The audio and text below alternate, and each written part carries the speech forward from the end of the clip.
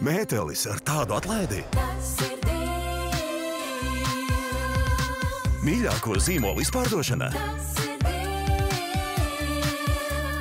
Deals. Akropole ziemas izpārdošana ar atlaidēm līdz pat 60%. Akropole Rīga un Akropole Alfa. Right, come on, guys.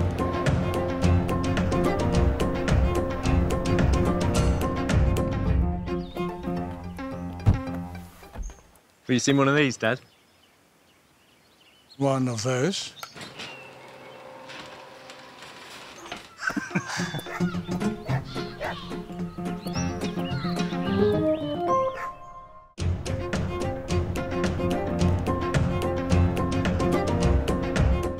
Giving is better than taking. Ideālā dāvana, kura ļauj svinēt Ziemassvētkus, tikai tev raksturīgā stilā. Vairāk nekā dāvana. Skaistākās dāvanas no Estī Lauder meklē veikalos Douglas un e-veikalā Douglas LV. Šajos svētkos pasniedz saviem mīļajiem nekļūdīgi labāko dāvanu. Ar Akropole dāvanu karti visas vēlmes vienā dāvanā no Akropole Rīga un Akropole Alfa. Tikšanās vieta - Akropola Rīga un Akropola Alfa. Raidījumu atbalsta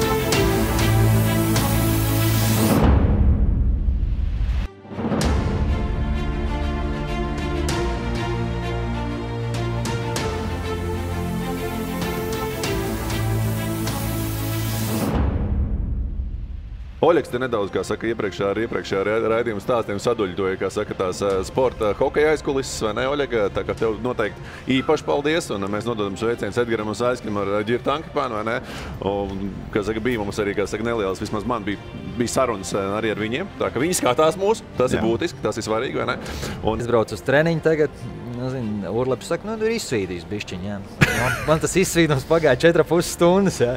Nu, tā, kad izrādās tā, ka, apmēram, nu, welcome to Poland, jā, welcome to, to, to Vloclavek. jā. Tā pieredze pirmajā gadā bija interesanti. Atbraucu uz to nometni, tur nospēlēja baigi labi, metu tos golus, tie muļķi tur kāvās, visi puskomandi, ja tur tur pierādīja sev to. Es, es mierīgi vairākumā liku iekšā, ja.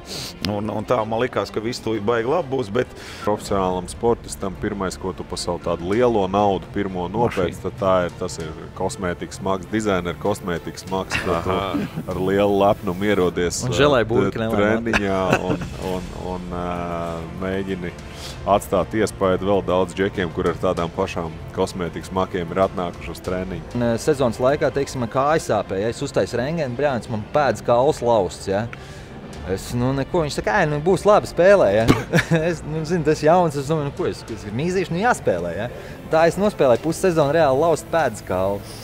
Bet nu, tad es atceros, pēc sezonas viss beidzās, atbraucu mājās Latvijas pēc atpakaļ es nebraucu. Man vienmēr šausmīgi smieklīgi likās, ka man maksā par futbola spēlēšanu naudu. Es, uh, uh, es uh, ar to nekad nebiju rēķinājies, un līdz ar to tas bija man tāds bonus. Nu, un kā bonus man arī bija iespēja izdarīt stulbus pirkumus, uh, tērēt naudu pilnīgās muļķībās. Un, uh, Ko tu pirki? Ko tu pirki?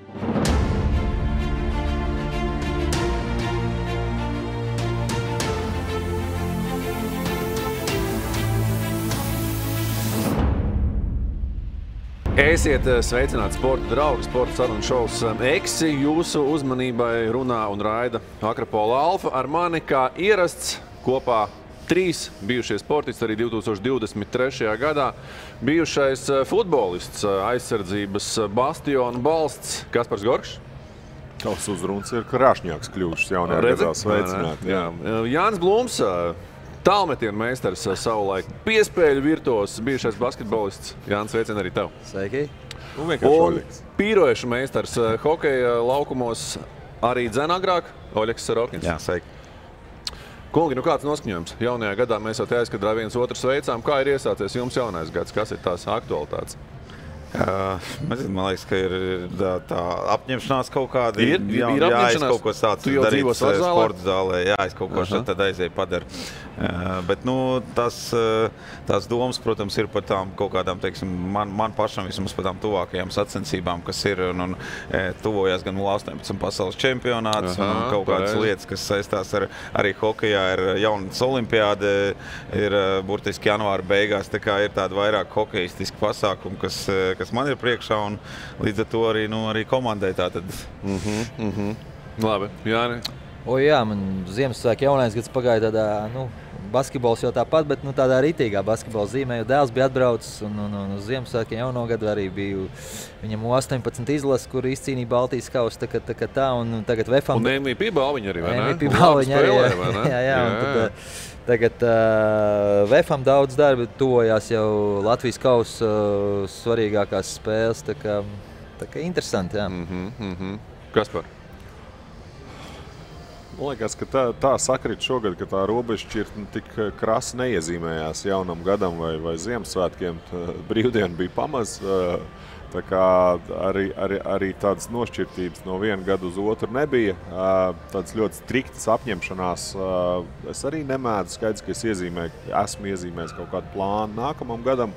Patiesībā tā līdzīgi kā viņš nobeidzās, tā arī viņš sākās ar to manu ikdienas darbu, ikdienas pienākumu veikšanu. Un, un, un, nu, mums valstī ir jauna valdība, mm -hmm. jauna sporta pārvaldība. Un, tas, arī, te, tas arī ietilpst manos ikdienas pienākumos diskutēt par to, kā, kā sports vai sporta politikas tiks plānota nākotnē. Mm -hmm. Cik man bija dzimšanas diena, man liekas, tu man neapsveici. Oļeļ. Kā es tev neapsveicu? Ja es tev neapsveicu, es tev tagad apsveicu. Es, es tev apsveicu pirmā reize. Mēs apsveicām visi, man liekas, ne? tu jau mani, kā saka, kā teikt. Nā, viena lieta, jā. Es šitā tā, man dzimšanas diena, tas ir baigais pasākums. Vienkārši Ziemassvētku, tad man sievai vārda diena, tad jaunais gads. Un tad pēc jaunā gada Kasparam vēl vārdiena bija dzimšanas diena. Kasparam bija vārdiena, jā. Kasparam tikko bija vārdiena. Tik ilgi es nevaru noturēt. Tas ir tāds. Nu, tā kā viss ir jau pēsts, viss ir jau tādā veidā, viss, nu, tā kā, nu, nē, nu, šito devēju nesvinam. jā, jā, jā. Sveicieni vēlreiz Oļegam uh, dzimšanā. Cik tev? 40? Deviņi. Oh, jā, tie sveicieni, tā, tie sveicieni tādi arī bija. Ne jau 49 man sveic, man te sveic, ka nu pēc gada. pēc gada viss beidzās dzīve, jā, kā saka. 50 var svinēt, jā? 40 nevar. 50 var laikam, jā. Nu, jauniešu definīcija pasaulē ar katru gadu ceļās gadu skaits ziņā, tā kā gan jau tur vien vēl iekļaujies. Iekļaujies, iekļaujies prātā, un, kā saka, dvēseliski jau tu joprojām esi jauns. Tā jau manīs. Jo no nu, iepriekšējā raidījuma mums arī bija tāda pietiekami vētraina ar labiem stāstiem, ar atklātiem stāstiem, un 2023. gadā tie stāsti droši vien kļūs vēl atklātāki. Oļeks te nedaudz, kā saka, iepriekšējā, ar iepriekšējā raidījuma stāstiem saduļtoja, kā saka, tās sporta hokeja aizkulises, vai ne, Oļega? Tā kā tev noteikti īpaši paldies, un mēs nododam sveicienus Edgaram un Saiskim ar Ģirtu Ankipānu, vai ne? Un, kā saka, bija mums arī, kā saka, nelielas, vismaz man bija, bija sarunas arī ar viņiem. Tā kā viņi skatās mūs, tas Jā. ir būtiski, tas ir svarīgi. Un, nu, cerams, ka viņi mūs skatīsies arī šajā gadā. Kolēģi, par to, ko man šai reizē gribējās jums pajautāt, jau teicu, mēs iepriekšējos divus raidījumus runājam par tādām ballītēm, par to, kā cilvēki un sportisti atpūšās, ko dara brīvajā laikā.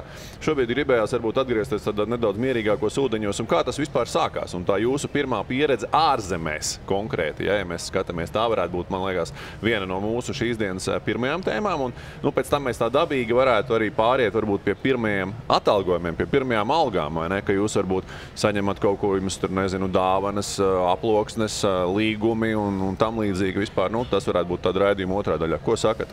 Derēs? Droši. Jā, jā, jā. droši. Jā. Būs ko, būs ko, kā saka, izstāstīt. Jo, nu, man liekas, ka jūsos, jūsos ieklausās, un es domāju, ka mūsu skatās ļoti daudz jauno sportistu vecāki, kuriem, man liekas, tā pirmā tēma arī ir, vai ne, tie vilinājumi, ko darīt ar to puiku, vai ne, ka viņš tur sasniedz tos 15 vai, vai 16 gadus, vai viņš brauc uz ārzemēm, vai viņš vēl paliek. Jo es paskatījos jūs konkrēti, visi trīs, vai ne?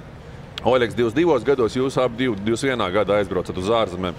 Oļegam tā ir, tā, tā ir Amerika, vai ne? Jānītim tā ir Polija un Kasparam tā ir, tā ir Zviedrija. Tā ka, nu, Es domāju, ka ķeramies un sākam ar šo, šo tēmu. Kā, kā vispār ir? Jo šobrīd arī konkrēti Oļegs jau pieminēja, arī jauniešu čempionāts, U20 čempionāts. Arī tas sastāvs bija raiba un raibais. Tur no ārzemēm, no Ziemeļamerikas tas, tas, tas, tas hokeja pienesums, kas šobrīd ir izlasēs konkrēti. Ja? Jānis arī pieminēja savu puiku, kurš arī nav Latvijā vai ne, kurš ikdienu šobrīd, šobrīd saka, pavada citos treneru, treneru rokās un ārpus Latvijas treneriem. Un futbola izlases, nu, tur arī, arī parādās cilvēki, kuriem piedāvā dažādas akadēmijas doties vilinošus piedāvājumus, ilgtermiņa līgumus piedāvā un tam līdzīgi. Kā bija jūsu laikos, kā jūs to atceraties? Jo nu, tie laiki ir krietni pamainījušies šobrīd. Tās iespējas varbūt kļuvušas vairāk, bet nu, mēs redzam, ka arī jūs pēc tam 20 gadiem kaut kur tomēr braucat. Kaspar, tavs Man gadījums. tu gribi sākt, jā. Es mēģinu galvā atcerēties, vai a- a- a- atlikt to, kā man gāja ar to, to manu braukšanu, bet patiesībā man tā bija vienīgā iespēja turpināt karjeru. Mm -hmm. uh, līmenī, kurā uh, nu, es varētu mēģināt sev nodrošināt iztiku. Jo laikā, kad es devos uz Zviedriju, Latvijā bija viens futbola flagmans, kas bija Skonto. Tā bija arī izlases bāzes komanda, un vislabākie jaunie spēlētāji arī katru gadu tika piesaistīti konto, un tad varbūt uh, izsūtīt uz citiem klubiem īrē uh, vai, vai aizsūtīt uz ārzemēm tāpat īrē, bet kopumā uh, lielākā daļa labo spēlētāju spēlē tieši konto komandā. Vēl bija Liepais metālurgs uh, Vēnspils, bet parasti tie vairāk balstījās vienu uz saviem vietējiem spēlētājiem, otru vairāk tur uz tādu leģionāru piesaisti. Bet nu, konto bija tā, protams, komanda, kurā tu gribēji būt. Un tīri optim, um, objektīvi skatoties, uh, uh, laikam talanta un uh, tā brīža spēles līmeņa dēļ, kā arī nu, komandas kvalitātes dēļ, es skonto rindās nu, nespēju ielausties. Arī vismaz vienu reizi es atceros, mēģināju. Izgāju šo pirmssezonas sagatavošanās posmu, bet tīri no tāda spēles viedokļa netika izvēlēts. Nu, tad bija tā iz, izšķiršanās, vai, vai es nu, turpinu strādāt, mācīties un atlieku sportiskās ambīcijas otrā plānā, vai nu mēģinu kaut kādus citus ceļus. Nu, tad viens no šiem ceļiem, kas radās, šī rad, iespēja radās pēc vienas uh, U21 spēles, kad man uzaicināja uz pārbaudi tieši uz Zviedriju. Uh, un tad palielam tas, uh, tas moments bija tāds, nu, vai nu aizbraukt un pamēģināt, vai nu nekad neaizbraukt un uh, nožēlot. Tā es aizbraucu bez nekādām lielām ilūzijām, bez nekādām iemaņām dzīvot bez vecākiem un bez ģimenes. Aizbraucu. Pirmā treniņā man uzreiz salauza degunu. Un tad, tad, tad tas man bija tāds reāls apziņa, kur man bija nu, jāizšķirās, vai es kāpju uz riteņa un ar tādu asiņojošu degunu braucu uz uh, Tā slimnīcu. situācija ir kaut kāda neveikla, vai tas ir tā, tev jau pirmā treniņā parāda, ka tas kā saka, būs Nu, jā, man mašīna? tā, tā jābrauc bija uz slimnīcu. Bet uh, nē, tas bija speciāli izdarīts. Tur viens jauns, uh, jauns čels, uh, tāds pieredzējušs spēlētājs, uh, iedvesmots un uh, pārlieku uzbudināts. Uh, nu, nospēlēja ļoti asi vienā epizodē. Nu, tad man arī bija tā izšķiršanās, vai es kāpju uz riteņa un braucu, braucu uz slimnīcu un gaidu vestibilā valstī, kurā es ne, nerunāju ne tajā valodā, ne, ne, ne, neesmu vispār, man liekas, nezinu, vai es, man, man bija tā bauda bijusi pa, pavadīt laiku slimnīcā. Nu, tad es aizbraucu, man tur kaut ko sabintēju, un es braucu atpakaļ uz treniņu. Tā mm. nu, īpaši neaizdomājoties dziļāk par to. Nu, un, uh, nu, tā, nezinu, vai tas bija tas uh, iemesls, kādēļ treneris man atstāja komandā. Nezinu, iespējams, tas jau tajā laikā parādīja kaut kādas manas šīs raksturiezīmes un neatlaidību. Bet nu, tobrīd es teikšu, godīgi, es pat īpaši par to neaizdomājos. Es pat neaizdomājos, vai tas bija speciāli vai nē. Apzinājos, ka tas bija rūpīgi. Pēc tam tas, uh, tas čels bija viens no maniem tuvākajiem tādiem čomiem komandā. Uh, viņš arī pats man to teica, ka, ka, nu, jā, ka tur ir, tu viņš bija pāršās pāri strīpu, un, nu, un, un, un tas vairāk ir bijis tāda pieredzējušo komandas biedru ietekmē. Jo Zviedrija, lai arī mēs viņu uzskatām par vienu no tādiem demokrātijas uh, paraugu nācijām, patiesībā viņi ir ļoti neuzņēmīgi uz leģionāriem, uz viesspēlētājiem. Un droši vien, ka tik. Nu, It sevišķi, ja tu, ja, ja tu esi tajās zviedriskajās pilsētās, tā, tās pilsētas, kuras tev ļoti augstu uzņem gan no uh, līdzjutēja, gan no komandas biedru viedokļa. Nu, jā, tā pirmā pieredze arī man bija tāda, ka caur laustu degunu uh, kārtējo reizi parādot savu raksturu un spītību. Uh, nu, izdevās ielausties komandā un nospēlēt Zviedrijā. Divus gadus tajā komandā. Kaut gan arī pēc pirmās sezonas es biju pārliecināts, ka es braukšu atpakaļ. Un, un tas patiesībā pēc tās pirmās sezonas bija otrais mēģinājums iekļūt skonto, kur arī man piedāvāja līgumu. Bet es sapratu, ka tas līgums drīzāk būs kā, kā tāds, kur laukumā doties izdosies ļoti reti. Nu, mm -hmm. Tad es nolēmu, ka es braukšu, braukšu atpakaļ un turpināšu savu karjeru Zviedrijā. Mm -hmm. Jā, ne? O, jā, man diezgan skarba pirmā pieredze. Arī, jā, jā, jā, jā, jā kā Kaspars minēja, arī spēlēja konto. Jā, tas bija arī nu, Latvijas flagmanis, ja, kā Vēnspils. Broču mantinieks. Jā, bija Vēnspilī, tā Rīgā bija viens lielais klubs, nu vai tie bija broči, pēc tam bija Uh, brocā LMT, pēc tam tur skonto, un tad jau tur barons, un tagad ir vefs. Jā, bet nu, Vēnspils paliek kā, kā ir. Jā, nu, tu spēlē skonto un arī spēlēja labi. Un, nu, kā, nu, nāca piedāvājums no Polijas, ja, kas gribēja, poļi gribēja arī izpirkt, ja, uh, izpirkt no skonto. Un tīri tajos laikos bija normāls transfers. Man liekas, tie bija kaut kādi 60,000, ja, par ko man izpirka ja, no, no, no skonto pēc sezonas. Uh, jo man bija ar konto līgums, bet nu, Valters palaida, jo viņš redzēja, ka es divus gadus nu, labi, labi spēlēju, un varbūt nu, kaut kur vajag augstāk tikt. Arī tur tāds atalgojums bija daudz lielāks nekā, nekā konto, un arī nu, tīri pašam pamēģināt. Arī tur bija viens no trakākajiem teiksim, treneriem Eiropā, zināms, Andrejs Urleps, ja, Slovēns. Kas ir tādām diezgan drastiskām un tādām disciplīnu un, un, un metodēm, visām treniņu. Un, un, uh, runāja, ka pie viņa nospēlēt vienu gadu, tu pēc tam nospēlēsi 22, jo tev ieliks tādu bāzi. Nu, principā, ja skatās, tā arī, tā bija, arī bija. Jā, mm. bet, nu, lai izturētu to, tas bija, tas bija diezgan. Un es atceros to rītu.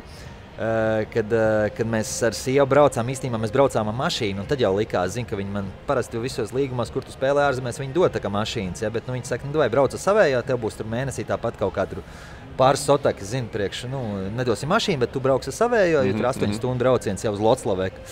Polijā, un tad tev būs arī nu, mēnesis, ja viņi tur kontraktā ielika pa mašīnu. Viņi man kaut kādu summu iedos. Es nu, neatceros, cik jā, jā, mhm. kompensē. Jā. Es saku, nu labi, jā, brauks ar savu mašīnu.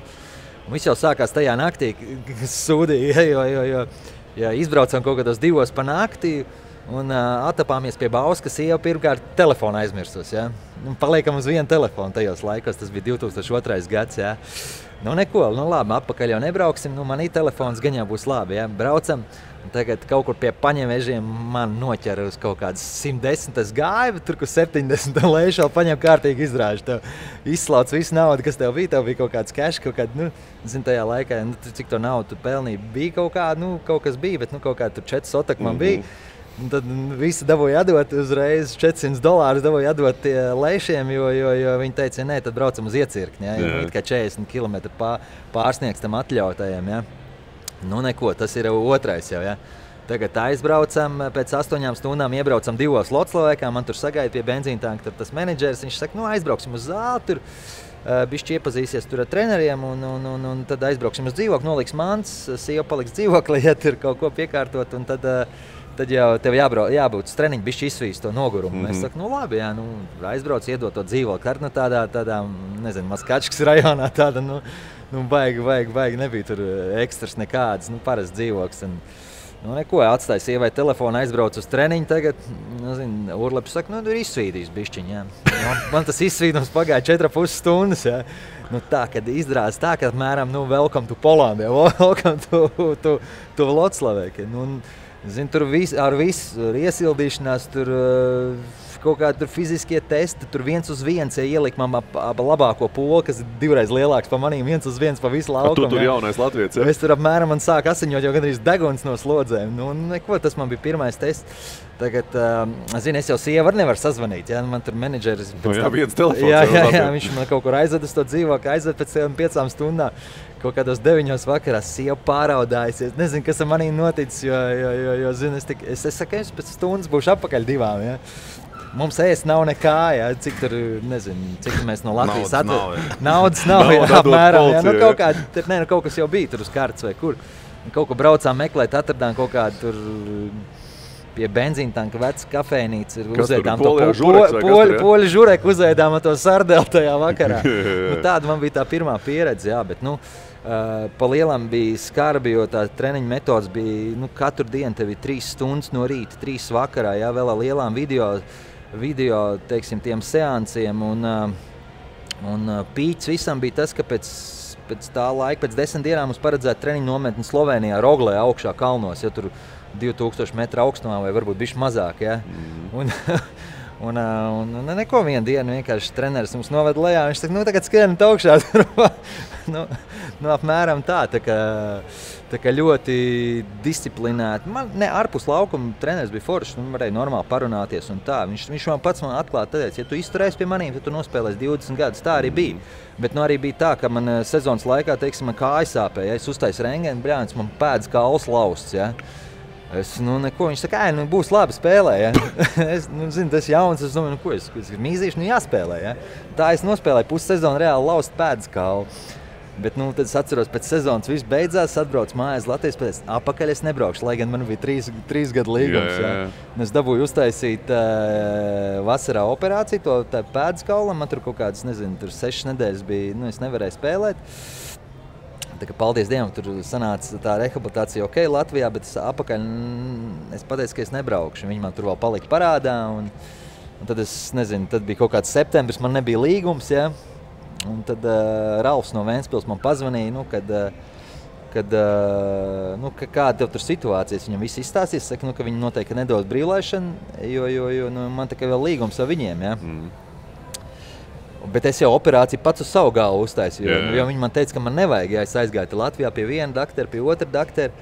Un, nu, viss tas nebija īsti profesionāli. Zin? Nu, varbūt no manas puses kaut kādā ziņā, varbūt no viņa puses. Ja?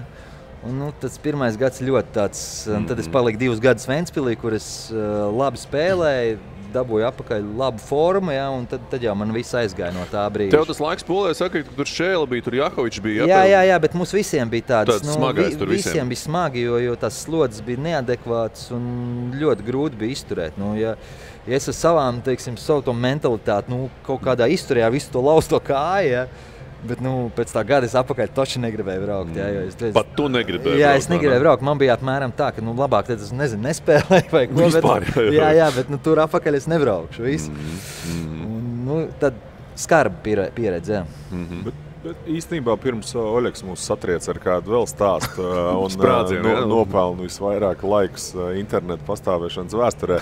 Salauž internetu. Tad, tad, tad, tad Uh, nu, pirmkārt, jau arī klausoties Jāņa stāstā, arī kaut kāds um, uh, papildinājums manam stāstam iešāvās prā, prātā, jo man arī tas ceļš, ceļš vai viss tā nokļūšana pēc tam jau pēc kontrakta parakstīšanas bija tāda, ka, nu, ja mēs ticam kaut kādām zīmēm, tad visdrīzāk ir jāgriežas atpakaļ un jāsaka, paldies, šis nu, nestrādās. No, no, no. Jo, jo, jo man arī bija tā, ka jau lidojot uz turieni, uz Zviedriju, es trīs dienas iestrēgu Dānijas lidostā, bez telefona, bez nekā, jo man paredzēts bija lidot lidojums, kas nav pārāk garš. Uh, uz Kopenhāgenu, no Kopenhāgenes uz Vehe, kur ir nu, pilsēta, kurā man ir jāspēlē. Bet, uh, Tā laikam ir vienīgā reize manā mūžā, kad no lid, lidmašīnas ļāva zvanīt saviem tuviniekiem un ziņot, ka vēl neesat nokrituši. Un, un beigās tā lidmašīna piezemējās Dānijas pusē, bet es, protams, nebiju izpētījis pārāk to geogrāfisko atrašanās vietu pilsētai. Uh, nu, mēs tikām sasēdināti autobusā, pārvestam lielam tiltam no Dānijas uz Zviedriju. Un tiklīdz mēs pārbraucam, tā viss tiek aiztaisīts ciets, jo ir kaut, kā, ciet, jo ir kaut kāda ļoti liela vētra, tilti nē, vilcieni nē, lidmašīnas vairāk nē. Ir nenormāls rindas, ja nemaldos, ka 30,000 cilvēku tajā lidostā pie neviena kupona vai ēšanas talona vai ko tur parasti tajās situācijās dara. Tāpēc pirmās trīs dienas uh, savu kontraktu ietvaros es pavadīju lidostā. Ar, ar, ar, ar divām meitenēm no Latvijas un ar vienu džeku, kurš, ja es nemaldos, viņš bija baletdejotājs uh, vietējā Dānijas, uh, Dānijas, kur tur dejo baletu, es, es domāju. Bet, jā, un, un, un tā man tas pirmais gads patiesībā visu laiku gāja caur tādiem lieliem pārbaudījumiem un, un, un, un arī dzīvošana bija rajonā, kurš tā arī saucās Arābija, kas arī eh, visu to specifiku ietver savā nosaukumā. Tur no tā, ka tev mašīna tiek atstāta uz klučiem, no tā, ka tev tiek eh, izdauzīts kāds lokus un, un, un, un skaidrs, ka tev tādā demokrātiskā valstī kā Zviedrijā ir jārūpējas pašam. Un, un, un tur eh, tās sadzīves iemaņas, nu, tev bija variants vai nu ļoti ātri viņas pieķert klāt un, un nu, neļaut ietekmēt kaut kādā veidā savu spēli laukumā, vai arī, vai arī nu, padoties un braukt mājās. Jo, ja, uz laukuma tās slodzes, varbūt kaut kā man arī bija treneris no Krievijas. Lai gan uh, tās slodzes nebija tādas, kas man būtu šausmīgi izaicinošas, bet tieši tas sadzīviskais aspekts uh, nu, bija ļoti smags. Un tie pirmie, pirmie, pirmais brīdis bija tiešām, ka katru dienu man bija stunda runājot pa telefonu mammu, kā ir jāvāra makaronu vai kā ir vispār kaut kas cits jāuztais, uh, mm -hmm. lai es beigtu kebabus ēst.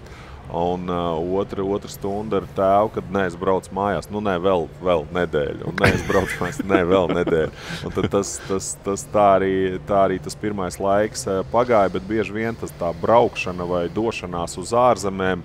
Nu, tur ir jārēķinās, ka tas arī ir tas lielākais izaicinājums, jo tas ir tāds lūzuma punkts, kad tu pieņem šo lēmumu. Un pats vienkāršākais ir uh, kaut kādā brīdī, vienalga, vai tas ir dēļ fiziskām slodzēm, sadzīviskiem izaicinājumiem vai kā savādāk. Visvienkāršākais ir sakramāt somas, aizbraukt atpakaļ. Bet, uh, Tas ir tāds nu, lakmus papīriņš, papīriņš vai tests, tavs pirmais tests, uh, nu, ko tu spēsi uh, sasniegt, vai cik tu ļoti gribi patiesībā uh, kļūt par profesionālu sportistu. Tur rodas tas raksturs, vai ne? Jā. Mm. Jo abiem jums ir līdzīga tā pieredze, tas pirmās. Un, un man, tas stāsts manējais beidzās ar to, ka es pats pazvanīju klubu prezidentam uz Poliju. Es teicu, vai es saku, nemaksājiet man tās to, to summu, ko jūs man esat parādā. Ja? Par to Darām. pirmo sezonu. Jā, jā, jā, par to pirmo sezonu. Es saku, dodat man brīvlaišanu un visu, un es parakstu, nu, nezinu, atsūtu man kaut kādu papīru, kad es piekrītu tam visam. Un, visu, un tā arī mēs izdarījām. Es parakstīju Vēnspili. Viņi piekrita brīvā jā, jā, es, pa, jā, jā, un es nu, piekrītu to, ka es nebraucu atpakaļ, kad uh, viņi man nesamaksā. Un... Cik viņi tur palika parādā? Nezinu, kādi divi mēneši. Nu, nezinu. 11,000. Un, un tad es noslēdzu viens plus viens ar Vēnspili un, jā, un dabūju. Nu, pirmais tas gads sanāca, jā, tā, kad, lai, lai tu dabūtu to formu apkārt. Bet es tur labi spēlēju. Labi, mēs divus čempionu titulus izcīnījām Latvijas. Ulebu kausā labi spēlējām, tur top 8. Mm, mm. Tā kā, tā kā labi, divi gadi bija ar Vēnspili pēc tam. Mm. Tad, jau, tad jau viss aizgāja labi. Nu jā. Ja čaļi te kā saka pa Eiropu, tad tu uzreiz bliez pāri okeānam.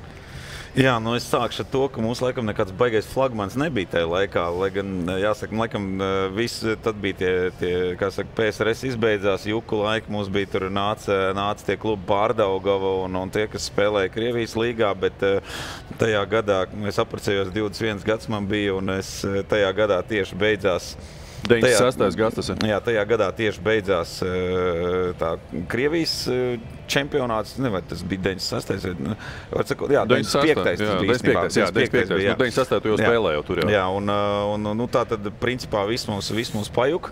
Jā, man pēdējo algu saņēmu, negribu samalot, man liekas, pirmajā, nu, kaut kādā februāra beigās tā bija alga. Pa februāru man iedeva, tā bija tā pēdējā alga.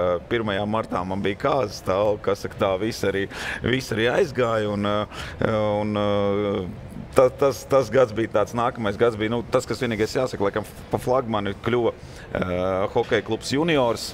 Un, uh, liels paldies, uh, liels paldies saka, Sports Luks, uh, tagadējā šī veikala, joprojām hokeja pasaules veikala vadītājiem, ja Silovnieku ģimenei. Un, uh, tajā laikā viņi bija tie galvenie hokeja atbalstītāji. Un es teikšu, ļoti daudziem puikām, droši vien arī man tā skaitā, iedeva vēl to, to brīdi, ka, nu, kas saka, atelpai bišku Latvijā, ja, ka kaut kāda, kaut kāda tur nauda bija. Ja, bet, nu, diezgan, diezgan, diezgan traki bija. Protams, mana hokeja sezona beidzās zin, tajā martā.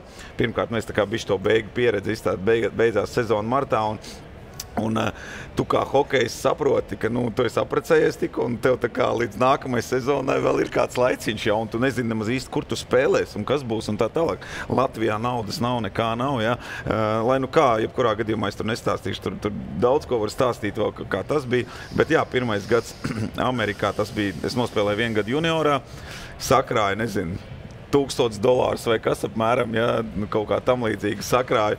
Principā uh, daudz ceļu mūsē jau iepriekšējā gadā, tie, kas ir 73. un 77. gadā dzimušie, uh, aizbrauc uz Ameriku, mēģināt uh, sevi un arī tā skaitā roller hokeja. Man, man pirmā pieredze bija uz divu pus mēnešiem uz roller hokeja braukt, un es principā iztērēju visu naudu nu, uz biļeti mm. ar domu, ka nu, tūlīt es braukšu, tur kaut ko pelnīšu un tā tālāk. Iztērēju visu naudu ar, ar cerību, ka es tur aizbraukšu un dabūšu vietu komandā, bet es braucu uz trajautu.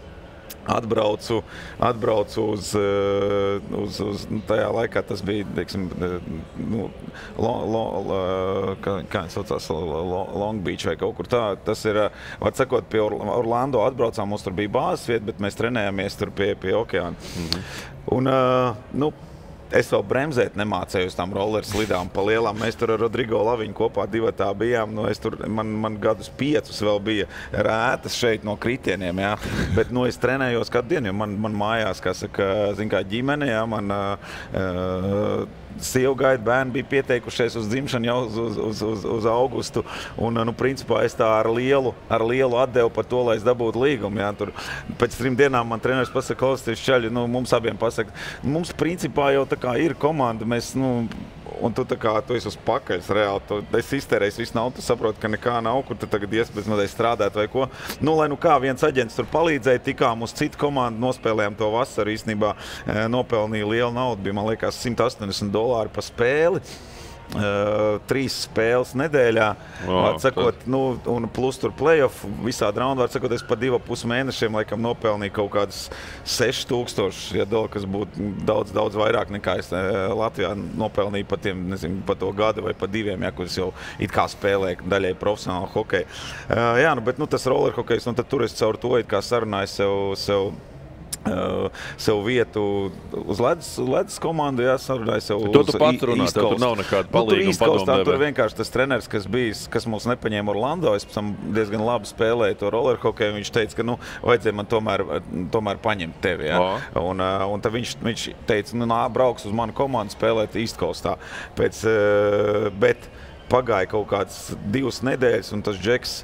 Eh, Tas treneris viņu paņēma uz AHL, uz augstāku līgu, un tajā komandā palika cits treneris. Nu, kaut kāds viņa aizvietotājs. Viņš teica, nu, ka man jāpaņem, zin, kā, nu, es atceros, es atbraucu tur arī tajā laikā. Amerikā bija, man liekas, es negribu samalot kaut kur pie 300, 350 dolāriem nedēļā. Mm. Tā alga, kas, nu, priekš manis kā, no Latvijas braucot, tas bija kā ok. Skaidrs, ka nebija nekāds lielais daudzums. Tad tā pieredze pirmajā gadā bija interesanta. Atbraucu uz to nometni, tur nospēlēja baigi labi, metu tos golus, tie muļķi tur kāvās, visu pusi komandu. Ja, tur pierādīja sev to. Es, es mierīgi vairākumā liku iekšā. Ja. Un, un tā man likās, ka viss tur baigi labi būs. Bet pēc trijām nezinu, pēc trijām vai četrām spēlēm, no kurām es nezinu, nospēlēju divas regulārajā sezonā. Man teica, tu esi foršs spēlētājs, bet tev labāk būs tajā citā divīzijā. Tur mazāk auguma, viņi labāk slido. Es tā, ok, un man pat tūkstotis cik tur dolāriem vai cik pārdevu uz citu komandu. Un es tagad, es esmu atbraucis principā. Ziniet, kā, bet pēc tam Orlando bija. Jā, nu, tā kā pat, no Jacksonvillā, ja mēs, nu, tā, tā, jau, tā vieta jau bija Jacksonville, kas arī ir Florida. Viss forši tur pie okeāna. Man jau apartamenti, kā es jau sāku iekārtoties, viņi man var sakot aizsūt. Es esmu atbraucis to komandu ar domu, ka es palikšu. Man ir divas lielas somas ar sievas drēbēm, kaut kādām bērnu drēbēm un tā tālāk. Man jau piedzimuši sīkie. Un, zin kā, un es, Es ar tām divām somām man tagad uz citu klubu, vispār citā vietā, kaut kur jau uz tuvāk, kas saka, uz ziemeļpusi jau. Un uh, es aizbraucu uz turieni, un man tagad, uh, man ie, nu, ieliek kaut kādā tur viesnīcā vai ko, un man ir tā kā, un mēs braucam izbraukumā. Un es braucu izbraukumā, es nospēlēju, man tie čaļi tur tādi, tādi it kā forši čaļi, ko beidzot viens atbrauc, kas māk, ķipa piespēlēt un tā tālāk. Es tā domāju, ka nu, tas būs. es nospēlēju vienu spēli, tā kā mazliet tur, man kamēr ieiet otru spēli, normāli shift nospēlēju. Bet tas treneris, es biju vienā pārī ar Čāli, kuram, kuram nu, kurš bija trenerim. Kā, nu, Nezinu, Ljubimčiks, kā saka, ja, tas Mhm, spēlētājs, ko viņš viņam mīļākais spēlētājs, jā. spēlētājs. Un es atceros, mēs nospēlējām spēli, pirmo spēli izbraukumā, aizbraucam viens pieci zaudējumu. Es atdodu to vienīgo piespēli, viens pret viens ar vārdsargu izgāju, čels iemet golu. Mans mikromačs ir eh, viens, viens, un es tur ielaidu golu. Un tas, eh, tas, tas, viņ, tas mans partners, viņam mikromačs ir viens, četri. Un es tagad, nu, viņš kaut kā tur nesanāca ar mani vai vēl kaut ko, ja tur tajā sanāca. Un uh, nākamajā dienā, uz nākamo spēli, treneris visu, visu klātbūtnē. Un tas tāds treneris bija tāds, kad, kad es aizbraucu to komandu, man Rodrigo Laviņš teica, viņš saka, nu, Oļeg, es nezinu. Un to kā veicās, zināja. Viņš saka, nu, es domāju, ka tu tur ilgi nenoturēsies. Mm. -hmm. Es tādu paldies. Jā, apmēram forši. Un, jā, nu, tā sanāca. Tas treneris sāka bļaut, teica, ka es tur nestrādāju kaut ko aizsardzībā. Mans partners visu laiku pa mani kaut ko dara. Es tāds sēžu. Tā nu, vispār nesaprotu, no kā, kas, kāda man, kāds man sakars ar to, ko viņš runā. Bet, nu, vārds sakot, uh, tā karjera beidzās man pēc tās spēles. Man nācās ar to komandu tajā izbraukumā vēl tās savu to nedēļu. Mums bija, man liekas, desmit dienas. Tas, tas Ah, bet tu nespēlēji tur es, vairs, ja? es nespēlēju vairāk. Jā, es, kā, es nespēlēju, nu, neko. Es varu visu kaut ko pastāstīt, ko es tur darīju tajā laikā. kad Nu, es nu, nu, nu, nu, nu, nespēlēju. nu, tagad tu lauzīsi internetu. jā, jā, bet nē, tur, tur bija labs gadījums. Mēs tagad aizbraucam uz vienu, uz vienu pilsētu. Un, uh, es neatceros, kas tā bija pa pilsētu, uh, bet, var sakot, blakus uh, pie Mississippi upes ir hale. Jā. Un, uh, un tur, nu, tur uz, uz, tās, uz upes ir kazino kuģis. Vienkārši zin, kā kuģis kazino. Es jau neko, es jau no Krievijas, no Latvijas, apmēram padomju savienības produkts. Es domāju, da, lai viņi iet ratā to hokeju. Man apnika skatīties tur tribīnēs, sēdēt. Es tāds parēķināju, tā, nu, tūlīt tās divas puses, cik tur stundas tā spēle, normāli atnākšu atpakaļ. Un es tagad no tās halas aizēju. un Sit, kas nu, aizēja, sēž pie tiem aparātiem, kaut ko daudz tādu skatos. Nezinu, piemēram, nezinu, septiņos spēli. Es tādu skatos. Nu, tā nu kaut kāda deviņa. Nu, tā kā varētu būt pēc 15 minūtēm beigsies. Iešu, iešu prom. Eju. Kuģis ir upes vidū. Vienkārši Mississippi vidū. Es ar tādām acīm izbraukumā neko ne. Es tāds, es tāds, "A, ko, mēs, kā mēs? Viņi saka, pēc pusstundas brauksim atpakaļ. Es kā pēc pusstundas man vajadzētu būt pēc kādām 15 minūtēm. Vārds saka, es tādā panikā, es laikam tā nebija svīts, es tik tuvu durvīm stāvēju, es nekad neesmu, laikam, kā, kā es tur stāvēju pie tām durvīm. Tikko kā durvis atvērās un kuģis piestājās pilnā ātrumā, vienkārši pilnā ātrumā, tur pa kaut kādu pļauju vai ko tur bija jāskrien. Es maucu uz to hali, aizmaucu līdz tai halai, ienāk halē. Tie idioti ir kāvušies pusspēli. Tā spēle vēl kaut kāds desmit minūtes ir jāiet. Es tas paldies, bet es biju pārsvīts, pārstresojies. Un tad, jā, nu, tā nākamā pieredze bija, bija tā, ka nu, mēs bijām tā kā skaitījās, nu, kad tika atskaitīts, jā, un tad eh, nu, man jāgaida, kā tur bija kaut kāds aģents, kaut kāds, pa- nezinu, Rodrigo vai kam bija, nu, pazīst, nu, kas man tā kā kaut kādu vietiņu tur meklēja. Un, eh, jā, un tad no turienes es eh, Un tur bija tā, ka es dzīvoju desmit dienas. Es dzīvoju kaut, kādi, kaut kādā indiešu motelī. Reāli, nu, bo, nu bamžaķīgs. Nu, reāli tā, ka vispār ēdu, es godvārds ēdu es vienreiz dienā. eh, Kentucky Fried Chicken. Nu, tur, tur, tur ņem, cik gribi. Jā, nu, tad, tur es arī sēdēju, ēdu, cik gribi. Bet mēs mums tas kaut kāds kotlets vēl sap, nu, ne kotlets, ko- kaut ko es varbūt ņēmu arī vēl līdzi paņēmu. Eh, Tā, ka, ka neredz, jā. Nu, tie cilvēki, kas kaut kas tur nāca, nu, kā viņi ēd, tie amerikāņi. Tur bija cilvēki, kas nāca, kas to vistu krāva. Piecas reizes uz tā šķīra. Bet, nu, atsakot, nu, tie bija tādi bēdīgi laiki. Es bez mazai uh, baigi tur arī tajā laikā, un neko tur baigi netrenējos. Varbūt kaut ko pastaigāju, paskrēju, vai kas tur īsti, man liekas, ūdens nebija tur nomazgāties nemaz tajās dušās. Nu, tā pa- pa baigi lēto dzīvoju, zin kā. Un jā, tad dabūju līgumu, labāju līgumu. Tur bija citu United Hockey League tāda, un, un tur aizbraucu, un uh, tur sev apliecināju, teiksim tā, un tad, tad man tur atstāja. Un tad nākamais ir, es saku, nu, tu, tu muļķis, es pilnīgi, nu, es esmu muļķis pilnīgākais. Zini, es atbraucu visu tie maiņu, to trei- treidu deadline un tā tālāk. Es neko tādu nezinu vispār, ka tas tāds vispār ir. Un tagad es tāds, es tur spēlēju, es tā kā es rukīs jaunais, man tur baigi vairākumā neliek, mazākumā neliek, bet īstenībā punktu man tīri labi. Es esmu varbūt tās labākais slidotājs komandā, bet tajā laikā tu neviens, nevienam tas neinteresē. Zini, kā tur pieliek tev pakarinu uz nūjas un tu braukā apmēram Jā, jā. Ja tajā laikā citi noteikumi bija. Bet nu, man īstenībā statistika priekš rūkīt ir laba. Un es tagad kaut kādas.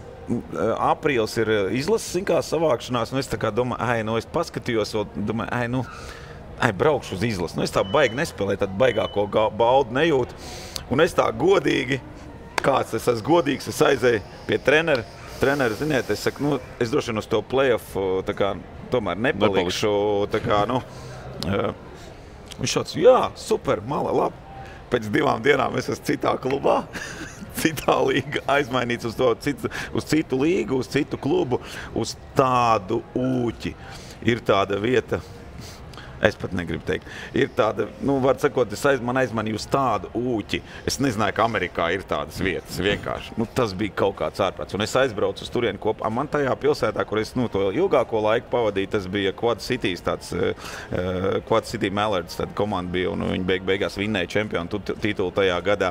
Un, uh, Tur es biju ar ģimeni, tur man ģimene, man bērnus tur pieskatīja katru reizi. Tur meitenes kaut kādas viņas lielāko prieku tur un tā tālāk. Un tā tālāk. Man bija baigi, baigi tādā ziņā bija forša ģimeniska. Tad tev kompensēja būtībā to laiku, ko tu tur puķiem biji pavadījis pirms nu, tam, ja? Nē, nu tas uģis, tas pēdējais uģis nāca vēlāk. Aha, ja, tad es, okay. es godīgi atzinos, ja, ka es braukšu mm -hmm, projām. Mm -hmm. Bet, nu labi, es to uģi aizbraucu, aizbraucu ielieku mūsu viesnīcā, tur kaut kādā dzīvojumā, tur drausmas bērns saslims, tur, tur pilnu mutu ar kaut kādiem tur, kaut kādām tur infekcijām un tā tālāk. Un man fani no tās iepriekšējās pilsētas, nu, sūta savu ģimeni pie mums, viņi padzīvos mm -hmm. ģimenē. Mm -hmm. Jā, un, un tā, arī, tā arī īstenībā izdarīja. Uz kaut kādām pāris nedēļām sanāca. Bet es stāstīju tālāk, es jau, var sakot, es tagad spēlēju tajā, tajā bodītē. Un tur tā komanda knapi tiek plēsofos. Tā kā nu, devītie laikam, mēs cīnāmies par plēsofu. Es tur baigi labi, viss tur, tur pirmā maiņa, tur, tur bija Makinesa brālis tajā laikā un tā tālāk. Mm -hmm. Tur pirmā maiņa, viss notiekās, es tur punktus gūstu, punktus spēlēju, gandrīz vien viss kārtībā. Un tagad es skatos biļetes mājā, uz mājām. Un biļetēm ir tā, ja tu, esi, ja tu pēc biļeti tagad, tā kā nu, man trīs cilvēkiem, ja tu pēc tagad, eh, martā, ja tu pēc biļeti, tad tev ir piemēram 1500 zaļie uz mājām. Ja tu pēc biļeti 1. aprīlī vai no aprīļa sākot, tas ir apmēram 3 stūks. Yeah. Nu, ko? Es esmu no PSRS. Es tāds viņiem, viņi to, kā PSRS jau viņiem arī tur viss. Es tagad pie sevis domāju, nu, skaidrs, ka mēs izkrītam pirmajā kārtā. Nu, tur nav varianti, tur tā kā nav varianti. Un es sāku pūst pīlītes viņiem. Es saku, klausieties, man ir pilnīgā pakaļā tajā PSRS. Man ņem no dzīvokli, un visi, ja es nebūšu mājās, tur kaut kādā. Man, viņi tur tādām acīm, es saku, klausieties, es nepalikšu uz plēfiem. Jo tur bija tā, ka nu, tur skaidrs, ka pa nedēļu čau, nedēļā man ir 350 zaļie, Un beigās sanāk, ka nu, es iztērēju daudz vairāk nekā vajag. Un es tur viņiem sapūtu, ka man dzīvokli ņem nos, ka man tur kaut kas notiekās. Viņi tur tādām acīm, protams, nu, nav variantu. Tur baigi žēl, tu mums tas tik vajadzīgs. Brauc, es, saku, es zinu, jā. bet es saku, vispār, nu, vispār man, es atbraukšu, man nebūs kur dzīvot. Zinu, un, jā, un beig, beigās jā, es, es, es aizbraucu projām. Un, tāda man tā pirmā gada pieredze atbraucu uz mājām, patiesībā uz izlasi, saslimu pa ceļam ar 40 grādu temperatūru. Nezinu, kāpēc nākamajā dienā gāju uz treniņu. Bija mana īsākā dalība izlasē divas dienas, man liekas. Bet, kurš, nu, kurš treneris? Uh, tad bija Grabovskis, man liekas, Beresņevs kaut kas tam līdzīgs. Nu, jaudīgi. bija, bija kaut kas tāds. Ļoti ar aplausiem. Klau, kolēģi, kā jūs, kā jūs vispār uh, Šobrīd varbūt padalāmies kaut kādā pieredzē tajā sakarā, kas ir tie gadījumi, kad ir tam jaunietim jābrauc. Nu, teiksim, tā mūsu skatās, jau teicu, vecāki varbūt, vai ne? Un, un es domāju, ka jūsos tiešām, tiešām ieklausās tie jūsu viedokļi. Tie varbūt vien, ka būs subjektīvi, objektīvi, bet kādi ir tie viedokļi? Un tev, Jānka, tagad ir puika aizbraucis, piemēram. Kāds bija tas lēmums tev kā, tev kā vecākam, kad tu saprati, ok, lai Robs brauc? Nu, īstenībā es jau arī sekoju līdzi arī citiem, kas aizbraukuši jā, jā, jā. un tā. Un, Un tad tev vajadzēja, principā, nu, kāds tas mūsu gadījums, sagaidīt to īsto laiku, to īsto piedāvājumu un tā. Jo, nu, principā, ka viņš spēlēja Latvijā, ja, nu, viņš spēlēja normāli, ja, bet nu, pēdējie gadi viņš sāk spēlēt teiksim, labāk, ja, tur trenēties un viss profesionālāks kļuva. Un, uh, zin, tur meta jaunatnes līgā pa 30 punktiem, tur trenējas, ok, tur viss ok. Bet, Bet tad vienā brīdī, nu, zin, viņš atnāca, viņš saka, klausies, nu, es gribu, tā kā, nu, viņš man pats atnāca, viņš saka, nu, ka kaut ko grib pamēģināt. Nu, A, pats viņš nāk, pa, ka viņš pats jā, jā, jā. to, ja? Nu, bet nu, es jau arī zinu visu to drēbi, apmēram plus mīnus zinu. Kurš vēl labāk nekā tu? Ne? Jā, jā, jā, arī pakonsultējos daudz ar citiem tur. Un, un tad es sāku lēnām skatīties apkārt. Zinu. Bet, nu, es jau sāku skatīties, lai, lai, lai viņam, nu, teiksim, ja viņš brauc, ja, lai būtu nu, laba vieta. Ja, parūpētos par viņu. Ja? Jo mēs jau mūsdienās, jau, man liekas, mums tāds trends ir, tagad, vai braucam prom, visi grib būt porziņi, visi grib būt, jā, jā, jā. būt tur bērtāni un, un tālāk. tālāk. Noteikti hokeja līdzīgi, ja tur daudz mm. grib būt bluģeri un visur. Un brauc vienkārši braukšanas pēc, ja? bet nu, braukšanas pēc īstenībā nav jēga braukt. Tad labāk Latvijā palikt. Ja? Es principā sapratu savam bērnam, kad, eh, nu, kad es redzēju, ka viņš ir gatavs braukt projām, ka viņš man pats prasījās, tad es arī sāku meklēt. Jo pirms tam es neredzēju, ka viņš ir gatavs, ka viņš varētu pats dzīvot, mm. ka viņš varētu pats labi profesionāli trenēties, rūpēties par sevi un visu to. Jā, jo vienkārši palaist viņu, vienkārši Tagad viņam brauc. cik, 7, 17? Viņš aizbrauca uh, 16 gados. 16 jā. gadu. Mm. 16 gadu, nu, augustā un nu, novembrī viņam palika 17. Nu, tagad Mm. tas jau viņš bija gatavs braukt. Jā. Nu, mēs jau būtībā laikam, no jūsu trim stāstiem varam secināt, ka tas sadzīviskais ir tas grūtākais un ka par to ir būtiski padomāt. Jā, jā, jā jo tev, tev no, noteikti, kad jaunietim tajā vecumā viņam vajag labus treniņus, viņam arī jāzina, kā atjaunoties, viņam ir labi jāēd, ja labi jāguļ. Ja, viss, viss tas tur, ko viņš, nu, principā Kā ir mājās. izglītība viņam tur? Un izglītība, jā, tur ir divi varianti. Vai nu mācīties uh, Francijā, vai nu Jā. mācīties tālmācībā. Jā, viņš izvēlējās tālmācībā. Jā.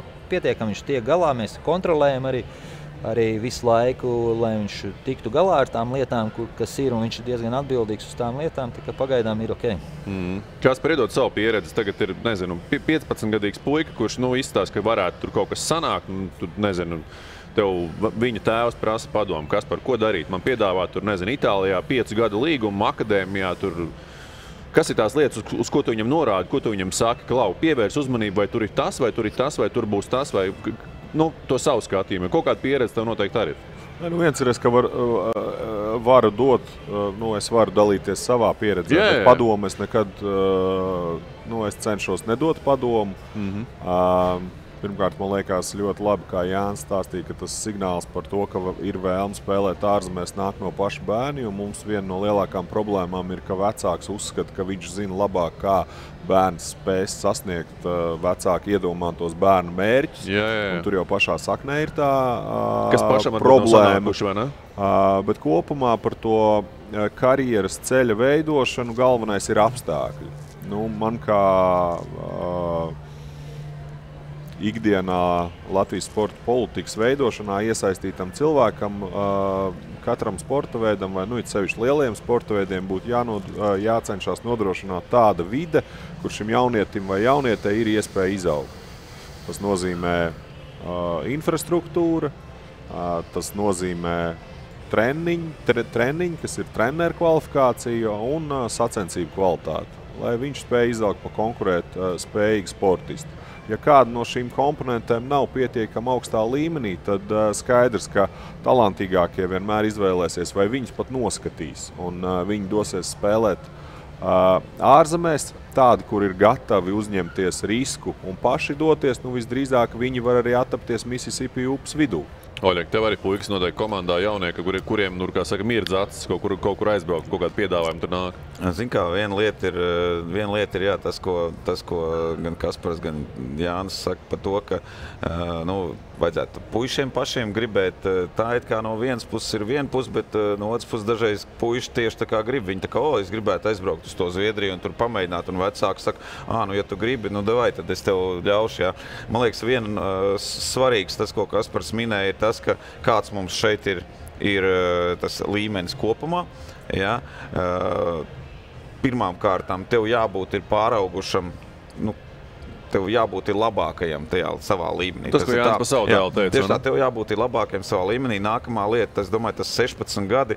Man liekas, ka tas varētu būt tāds ātrākais vecums, par ko varētu to kaut ko domāt. 16, O, jā. Es tā uzskatu, jo arī, piemēram, tajā pašā Zviedrijā, ja mums vairāk cilvēku brauc uz Zviedriju, bet īstenībā Zviedrijā šis akadēmija princips, ja, un vispār akadēmija princips, viņš veidojās no 16 gadiem, viņš nav no 13 gadiem vai vēl kaut kas. Ja. Un tur arī Zviedri, teiksim, es Zviedrijā esmu spēlējis, es runāju ar, ar to, ar to savu, teiksim, menedžeru, viņš, viņš runā par to, ka nu, viņi uzskata, ka tam bērnam mm, līdz, nu, līdz vidusskolai ir jābūt principā pie vecākiem. Ja. Viņam ir jābūt principā tajā vidē, savā ģimenes vidē un tā tālāk jābūt, un tikai tad viņi sāk runāt par kaut ko vairāk. Ja. Tā ir viena lieta. Otra lieta ir, eh, te, ir daudz, te bija minēts, ir piedāvājums, tur runā par piedāvājumu. Tas ir nākamā lieta. Ja ir piedāvājums, tad tu esi tik labs, ka tev. Un tas piedāvājums, ko nozīmē, ko nozīmē piedāvājums? Ziniet, man ir piedāvājums, eh, bet nu, man jāmaksā vēl, vēl 800 eiro ja, vai 1000. Nu, tas nav īsti piedāvājums manā izpratnē. Ja. Tas ir tāpatās. Nu, Tur, tur, tas tā ir normāla braukšana. Mums vajag cilvēku, kas maksā visu to naudu un, un viss kārtībā. Ja. Tas nav īsti tāds varbūt piedāvājums. Pie tam, pie tam nu, arī kāda līmeņa komanda, kāda līmeņa kas. Ja, nu es, tātad, es teiktu, ka vajadzīgs ir līmenis, jā, vai mēs to varam nodrošināt šeit. Tā ir viena lieta. Jā, otra lieta ir skaidrs, ka tam bērnam nu, ir problēmas ar to, ka tu tev jābrauc un tev pēkšņi jādzīvo ir vienam. Ja? Un tāpēc šis vecums, tas man liekas, arī ir, nu, ir, ir ļoti svarīgi. Un es arī, ja godīgi tāpat kā Kaspars saka, es baigos padomus, negribu dot, un es esmu vairāk reizes teicis arī vecākiem, es saku, klausieties, es negribu jaukties jūsu karjerā, lai jūs pēc tam man teiktu, ka tu mums ieteici braukt, vai tu mums ieteici šito, bet tas nebija pareizais lēmums. Es nezinu, vai tas bija pareizais, vai ne, kā jūs to izmantojat. Tāpēc es arī tā baigi negribu. Es, eh, tas, ko es saku, es saku, mēs, es varu piedāvāt to un to. Ja man kāds vecāks saka, atnāk un prasa, ka tu zini, vai viņš tev ir vajadzīgs, es saku, nē, man viņš nav vajadzīgs kā tāds. Ja es esmu viņam vajadzīgs, tad, tad mēs varam runāt. Man tāda frāze par bērnu, kam ir 15 gadi, vai viņš tev ir vajadzīgs Jā, varbūt viņš man ir izdevīgi, ka man ir labāks spēlētājs, bet tā, lai es teiktu, ka tagad es uzņemšos, jā, man viņš ir vajadzīgs, un tāpēc tas vecāks nāks un teiks, pagoļiek, tu teici, ka tev tas eh, čels ir vajadzīgs, mans dēls. Mm. A, tu no viņa tur neko neizveidoji, vai kas, ja vai mums nesanāca kaut kas. Tāpēc es arī es tā baigi negribu, es, es mēģinu runāt par to, ko mēs, teiksim, ko mēs varam šeit piedāvāt. Es mēģinu uh, tos, gan tos treniņu procesus pareizi veidot, gan tas, ka tas bērns tomēr ir ar mācībām saistīts šeit, ka vecāki var būt tam tā, tām lietām izsekot. Man arī tas treniņu process nav treniņu, nav skolas laikā. Jā, viņš ir, to, lai, lai kā es gribētu, varbūt no rītiem iet, ja trenēties. Mums tas process ir pēc skolas. Es pat izlases treniņus mēģinu kā, tiem puikām vēl kādu nedēļu, nedēļā, kādu dienu iedot aiziet Pielāgot, uz skolu jā. un tā tālāk. Tā kā, man liekas, tas ir ļoti svarīgi. Un, un, un mēs zinām tos veiksmes stāstus. Ja, es pieņemu, ka arī, arī Gulbis runā par to, ka jā, nu, ir veiksmes stāsti. Mēs redzam pāris tos veiksmes, mēs neredzam tos stāstus, kas īstenībā ir beigušies savādāk. Tādu, tādu ir daudz, ir daudz jā, vairāk. Jā, pilnīgi noteikti tādu mm. ir daudz vairāk. Tāpēc pirmā lieta, kas ir, kā Jānis saka, mans dēls meta pa 30 punktiem. Tātad Pirmām kārtām viņš, pat, viņš nemeta pa trīs punktiem un aizbrauca uz turieni. Ap, apvainoja visus trenerus, ka viņi man nemācīja izveidot no manis neko, mm. un tagad man jābrauc uz turieni. Ja? Tas tie, tie veiksmīgi stāsti ir principā mūsu tie, tie hokeisti arī daudzi labie. Viņi aizbrauc projām. Mēs runājam, o, tas tur Šveicē, o, tas tur Zviedrijā. Bet atvainojiet mani, viņi ir aizbraukuši uz turieni. Varbūt kāds aizbraucis 14 gados, bet viņi aizbraukuši turieni kā sava gada principā labākie. Jā, varbūt pāris cilvēki ir, kas ir čīkstējuši tur, kas, kam tur savādāk, kam te nav atgu, atz, atzinuši viņus, jā, un tā tālāk. Tu nezini, 12 gadu vecumā. Nu, tur nemaz nevar vēl īsti saprast, kas tas. Nu, pacīnies, jā, iegūst to atzinu. Tā kā, nu, es uzskatu, ka, ka tas ir, protams, katra individuāls lēmums, bet šie pareizie argumenti, ko šeit eh, kolēģi teica, es domāju, tie, tie noteikti ir jāizvērtē.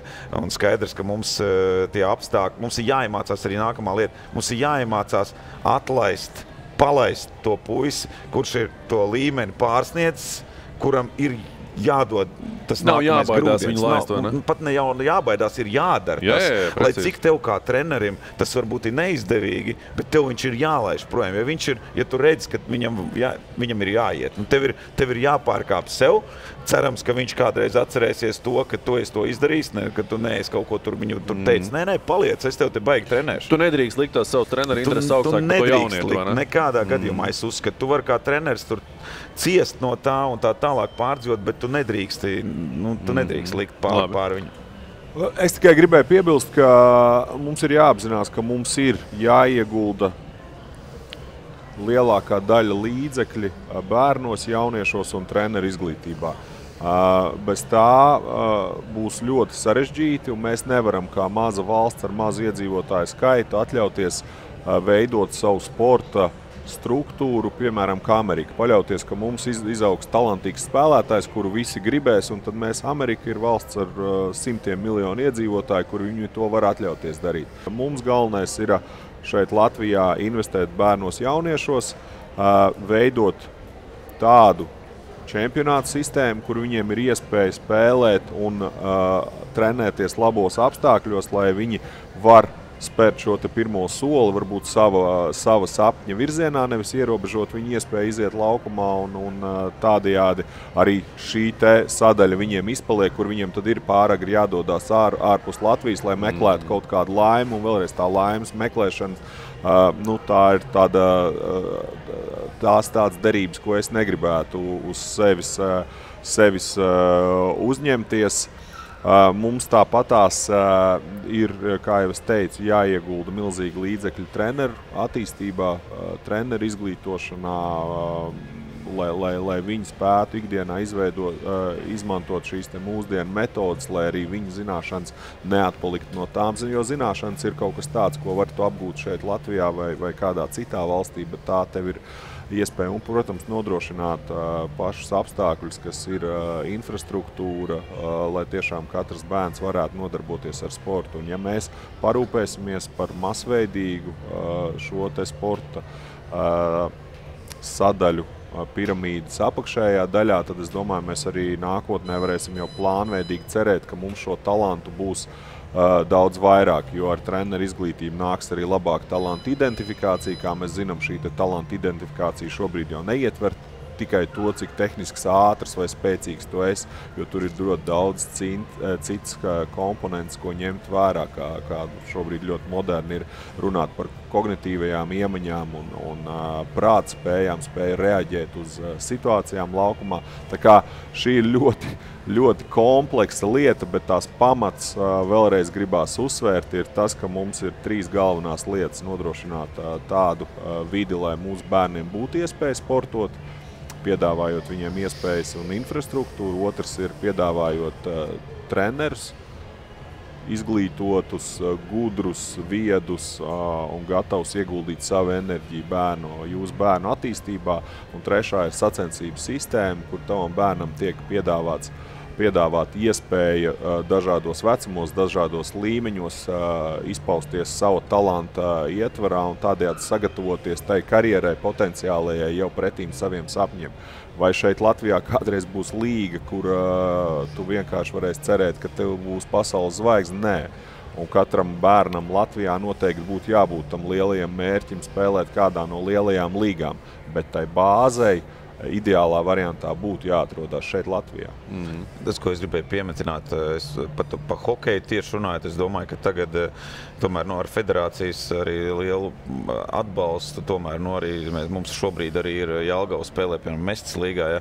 Es domāju, ka dotajā brīdī nu, nevienam vecākam nav jāsatraucās par to, ka nu, vismaz līdz 18, es pat teiktu, 20 ja, gadiem principā Latvijā attīstība spēļu līmenī, ja, es uzskatu, ka ir eh, tādā, nu, ka, ka tu vari visu laiku progresēt līdz, līdz tam vecumam. Ja, ja tu tiešām esi tāda lielāka zvaigzne, ja, un, un tiešām, ja mums izaugs kaut kāda lielāka zvaigzne, mēs viņu vienmēr palaidīsim, uh, kur vajag. Ja, un, un, un, bet pārsvarā šies, šīs lielās mūsu zvaigznes ņemsim tā. Nu, uh, ja viņi ir aizbraukuši uz ārzemēm, tagad ir tādi, piemēram, Ločmēls un Vilmans, ja, kas tika nodraftēti iepriekšējā gadā. Ja, šie puiši aizbrauca kā labākie, absolūti labākie. Savā izveidoti vecumā. produkti mm. savā vecumā. Absolūti labākie. Neviens man nevarēs apstrīdēt to Latvijā. Vilmans un Ločmals aizbrauca uz Zviedriju, kur viņiem piedāvāja uh, apstākļus, uh, kas saka, visu, visu Viņi aizbrauca kā absolūti labākie, un viņiem piedāvāja šo vietu. Ja, un, un beig, beigās viņi turpināja attīstīties. Ja, un vienreiz man bija tāda saruna ar to vienu zviedru, à, laikam, ka es prasīju uz, uz izlasi. Viņi saka, mēs jums, mēs jums atsūtīsim labus tos, nu, mēs esam sagatavojuši labus projektus. Es viņam pateicu, ziniet, mēs viņus sagatavojam, mēs viņus iedavām jums attīstībai, nevis jūs mūs viņus sagatavojat. Jo tā arī bija. Mm -hmm. Jūs paskatieties, ko gribat. Es loču man atceros no septiņu gadu vecuma. Ja, un, tas puika jau tad bija tāds, es biju šokā. Nu, viņš bija vienkārši labāks par deviņgadīgiem, tīri galvā, un viss viņš atnāca pie manis uz tādu nometnīti. Un, uh, vienkārši es redzu, ka puika saprot, un man ir liels prieks, ka, ka nu, viņš ir izdzīvojis. Jūs toreiz redzējāt, ka tur kaut kas sanāks? Ja? Nu, es toreiz redzēju, ka čau, septiņos gados viņam ir galva, viņam ir, viņam ir labi, tur kaut kādas mākas un tā tālāk, bet viņam ir tas viss. Viņš saprot vingrinājumus mm -hmm. labāk -hmm. nekā desmitgadīgie jau. Ja? Mm -hmm. un, un tāpēc, tāpēc es domāju, neviens, es teikšu atklāti, Latvijā neviens talants nav pazudis. Es neredzu to, ka tāds būtu. Ja arī kāds vecāks saka, ka liela nauda jāmaksā vai kas, patiesībā klubi, eh, sporta skolas atbalsta tos bērnus. Ja ir problēmas, atbalsta. Jā, vecākiem varbūt daļēji maksājums tiek noņemts, daļai kaut kas palīdzēts. Ir kaut kādi arī vecāki, kas atbalsta savu, tur, nu, savas komandas, tur nezinu, vārdsargu vai ko viņi redz, ka vajag. Ja? Kam ir iespēja ja, kaut kad. Ir, ir paldies arī tiem vecākiem. Komandas biedri vienkārši palīdz. Komandas Tieši tā, biedri vecāki. tieši tā, tā kā neviens, es uzskatu, ka neviens talants, kas ir Latvijā, teiksim, hokejā, es uzskatu, ka neviens Tas, talants. tas bija būtībā Oļegs jau pazudis. atbildēja uz manu nākamo jautājumu. Kā ir ar to talantu atlasi vai nav? Mums tās bažas, ka tas, ko Kaspars teica, ka nav tās iespējas varbūt tik labas, ka tie kaut kādi labie spēlētāji, viņi var pazūd vienkārši tas, ka viņiem vienkārši vecākam nav iespēja maksāt par to lēdu, par tiem treneriem, par to, nezinu, sporta zāli vai pat, nezinu, nometni vai, vai, vai tam līdzīgi. Jo Kaspars labi tam pieskārās. Īstenībā, kas ir svarīgi, nu, teiksim, ja mēs tagad runājam par hokeju, ja, kad jābūt, ir, nu, man liekas, ka nu, hokejs viens no populārākajiem sporta veidiem pēdējos gados. Ja, un vitāli svarīgi arī lielais klubs, ja kāds bija Dienāmo, ja, un kas, kas to talantu arī var pamanīt. Ja. Nu, tie ja, tā, jā, kā- ja flagmans ir tas Dienāmo, ja, tad ir hokeja klubs Rīga, bija fanu klubs. Ja, un tad jau, nu, arī latviešu teiksim, spēlētājiem ir vieglāk, ja tev ir lielais nu, flagmans. Un, teiksim, mums ir VFS, ja, un mēs mēģinām arī fanklubs ir RSU VFS, ja mēs mēģinām tos talantus kaut kur dabūt, mēģinām attīstīt savu RSU VF. Mm -hmm. Ja viņš ir labs, tad uzreiz uz, uz lielo VF. Ja. Un tā jau arī hokeja tagad ar Dienāmo pazušanu, es domāju, nu, ir daudz grūtāk arī varbūt kaut kādā ziņā, jo tu esi uz KHL skatos, kur tu visu laiku kaut kāda skautu uzmanība, NHL, kaut kāds, nu, KHL tomēr tu, ļoti labs čempionāts bija. Ja, un tagad, kad Dienāmo nav, es domāju, arī daudz hokeistiem ir grūtāk jaunajiem arī sevi nu, kaut kur tos pareizos virzienus atrast. Mm. Ka, nu, Man vispār ļoti to- interesanti liekas, tās pat, eh, spo, kā, kā sports attīstās. Tas ir ļoti interesanti. Sports kādreiz bija, nu, mēs tā teiktu, uh, nu, pa lielo nabadzīgo iedzīvotāju izklaide. Darba ļaužu, jā, gāja uh, uz teātri, gāja uz baleti. Sports bija uh, tāda darba ļaužu un šķiras uh, izklaide. Jā, jā. Uh, ienākot lielai naudai sportā, skaidrs, ka arī daļa izglītotu cilvēku saprot, ka tas ir veids, kā pelnīt naudu, tas ir veids, kā veidot karjeras, taču mēs arī varam novērot, ka uh, bērnu uztvere ir uh, krietni mainījusies, un tas informācijas apjoms, ar ko viņi saskarās ikdienā, ir krietni audzis. Un arī pats bērns daudz vienkāršāk pieņem lēmumu izvēlēties kādu citu karjeru. Un patiesībā tas ir forši, jo vienmēr, kad man prasa kāds padomu, es varu izstāstīt, kā darbojas akadēmijas sistēma vienā valstī, kā darbojas akadēmijas eh, situācija citā valstī, kā darbojas citā vēl valstī. Mm -hmm. Ja man teiktu, ideālais scenārijs, es te, teiktu, brauc mācies Amerikā, kur tev tiek nodrošināts mācības, kur tev tiek eh, nodrošināta jauna pieredze un iespējams tu kļūsi par sportistu. Jo es domāju, ka ja, atkal, ja mēs uh, skatītos tīri statistiski, cik uh, jaunieši kļūst par profesionāliem sporta, uh, sportistiem, uh, kas pelna miljonus, nu, tad, tad tas procents ir ļoti, ļoti maziņš. Un arī Bet nevajag. Cik daudz jauniešiem sports var palīdzēt tālākajā dzīvē, kaut vai tas ir tikai bijis jauniešu vecumā, cik daudz jauniešiem tas palīdz izkopt rakstura īpašības, kuras citās nozarēs nav iespējams izkopt, un kā viņas palīdzēs viņam turpmākajā karjerā, vienalga, vai viņš būs jurists, vai viņš būs nezinu, nekustamo īpašumu mākslinieks vai kāds cits. Uh, tā ir, uh, tā, tas ir neatsverams uh, īpašību kopums, jo lēmumu pieņemšana laukumā, iniciatīvas uzņemšanās, galvenais komandā. ad, ad, darbs komandā, Jā, jā. atbildība. Tās ir īpašības, ko sports tev automātiski ieliek tavā tādā starta paketē. Un, un, un tāpēc, manuprāt, arī tādai kopējai Latvijas izglītības sistēmai vai, vai daļai no bērnu jauniešu izglītības nodarbošanās ar sportu, nu, es domāju, sevišķi ar komandu sportu, tā ir. Tā, tā ir milzīga pievienotā vērtība, ja arī viņš nekļūst par profesionālu sportistu. Mm -hmm. Jā, un te es domāju, savienojot Kaspara un Jāņa eh, runas, ja Jānis runā, VFM ir sadarbība ar RSU. Man liekas, tā ir tā lieta, kas mums tiešām būtu ļoti jāattīst. Jā? Jelgavā. Zemgalē ir ar Lauksaimniecības mm -hmm. universitāti, jā. šeit ir ar RSU un tā tālāk. Principā droši vien, ka vajadzētu būt beig beigās, tad ja vēl būtu tāds, zin, studentu sporta spēles apmēram, ja tas būtu... Studentu hoķis. Tas būtu tas diezgan varbūt nereāli, ir, ja būsim godīgi dēļ tā, cilvēku apjomu, kas mums ir. Jā, varbūt basketbolā tas ir reālāk, futbolā reālāk, hokejā tomēr nu, salīdzinoši maz cilvēku ir. Jā, jo, un, tas arī, arī basketbola komanda ir mazāka nekā hokeja komanda. Jā, tur divas varētu uztaisīt. Varbūt, jā. Mm. Bet, kā tāda, tā būtu, man liekas, tā būtu kolosāla lieta. Ja mums, jo, jo es tiešām es pazīstu ļoti labus, nu, piemēram, dakteri, ja, kas ir hokejs, bijis, piemēram, Kaspars Ruks, ja, kas ir bijis kādreiz hokejs, ja viens no labākajiem mugurkaula uh, speciālistiem mm -hmm. vispār ja, Latvijā un tā tālāk. Un uh, ļoti daudz jau sporto, gan spēlē to basketbolu, gan futbolu, gan hokeju īstenībā tie, tie, tie profesionāļi, kas ir. Un, un, un mums, piemēram, nav problēmas jau kaut kādā jomā Eh, atrast gan izvēlēt nu, savu cilvēku, ar kuru varētu protams. Un... Es domāju, ka tās ir divas dažādas pilnīgi skolas. Jā, jā.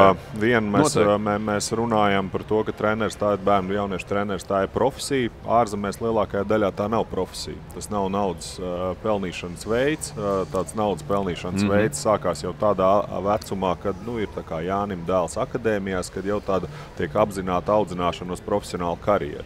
Uh, Zviedrijā, tas tiešām ir Anglijā, tajā pašā. Tas ir sociāls projekts. Tur katru nedēļu viens no vecākiem vada treniņus. Viņiem tiek veikts speciāls apmācības, kur jā. viņi iziet ātrus kursus. Viņi katrs novada savu spēli, viņi iejūtās treniņu procesā. Viņi patiesībā daudz labāk izprot arī treneri un iespējams kaut kādā veidā neizsaka tik aktīvi savas pretenzijas pret treneru darbu vai, vai, vai kā savādāk mēģina iejaukties viņu pienākumu veikšanā. Tā tās ir divas dažādas pieejas, kur ir labāk.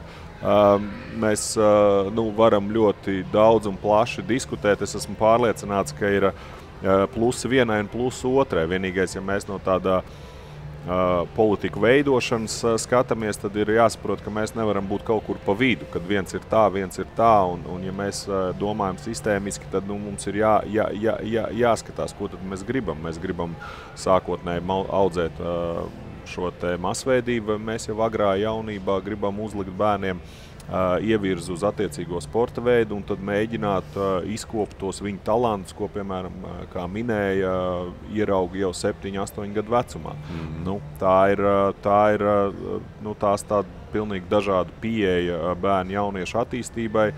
Un, un kur ir pareizi, es arī ne, ne, neņemšos spriest, jo, jo gluži vienkārši es neesmu neesmu, neesmu nec treneris, nec arī tik liels speciālists, lai es uzņemtos tādu atbildību un teiktu, kā ir vispareizāk. Mm. To mēs no tevis nemaz neprasām, kas par šodien. Tu pietiekami labi savā saka, pieredzē, pie, pieredzē padalījies. Paldies vēlreiz, kolēģi. Oļeg, es drīkstu skriet pa veikaliem. Man jau redzams, ka trīs jau rokas. Jau, jau, jau iepirkt. Nu, vēl viens stāsts, Oļeg. Uzspriežam vēlreiz internetu. Nē, nē, šodien pietiks. Jā. Nē, nē, nu, jā. Nu, Gaidām otro tēmu, viņu kā pagūsim. labi, skatītāji pastāst reklāmu. Es pa veikaliem pēc brīža tiekamies. Mētelis ar tādu atlaidi. Tas ir Mīļāko zīmolu izpārdošana? Deals! Akropola ziemas izpārdošana ar atlaidēm līdz pat 60%. Akropola Rīga un Akropola Alfa. Right, come on, guys.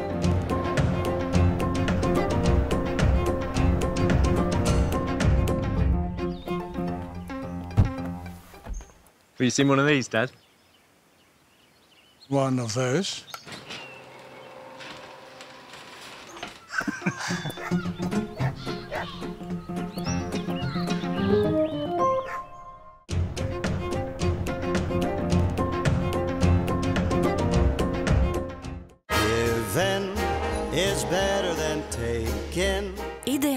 Dāvana, kura ļauj svinēt Ziemassvētkus, tikai tev raksturīgā stilā.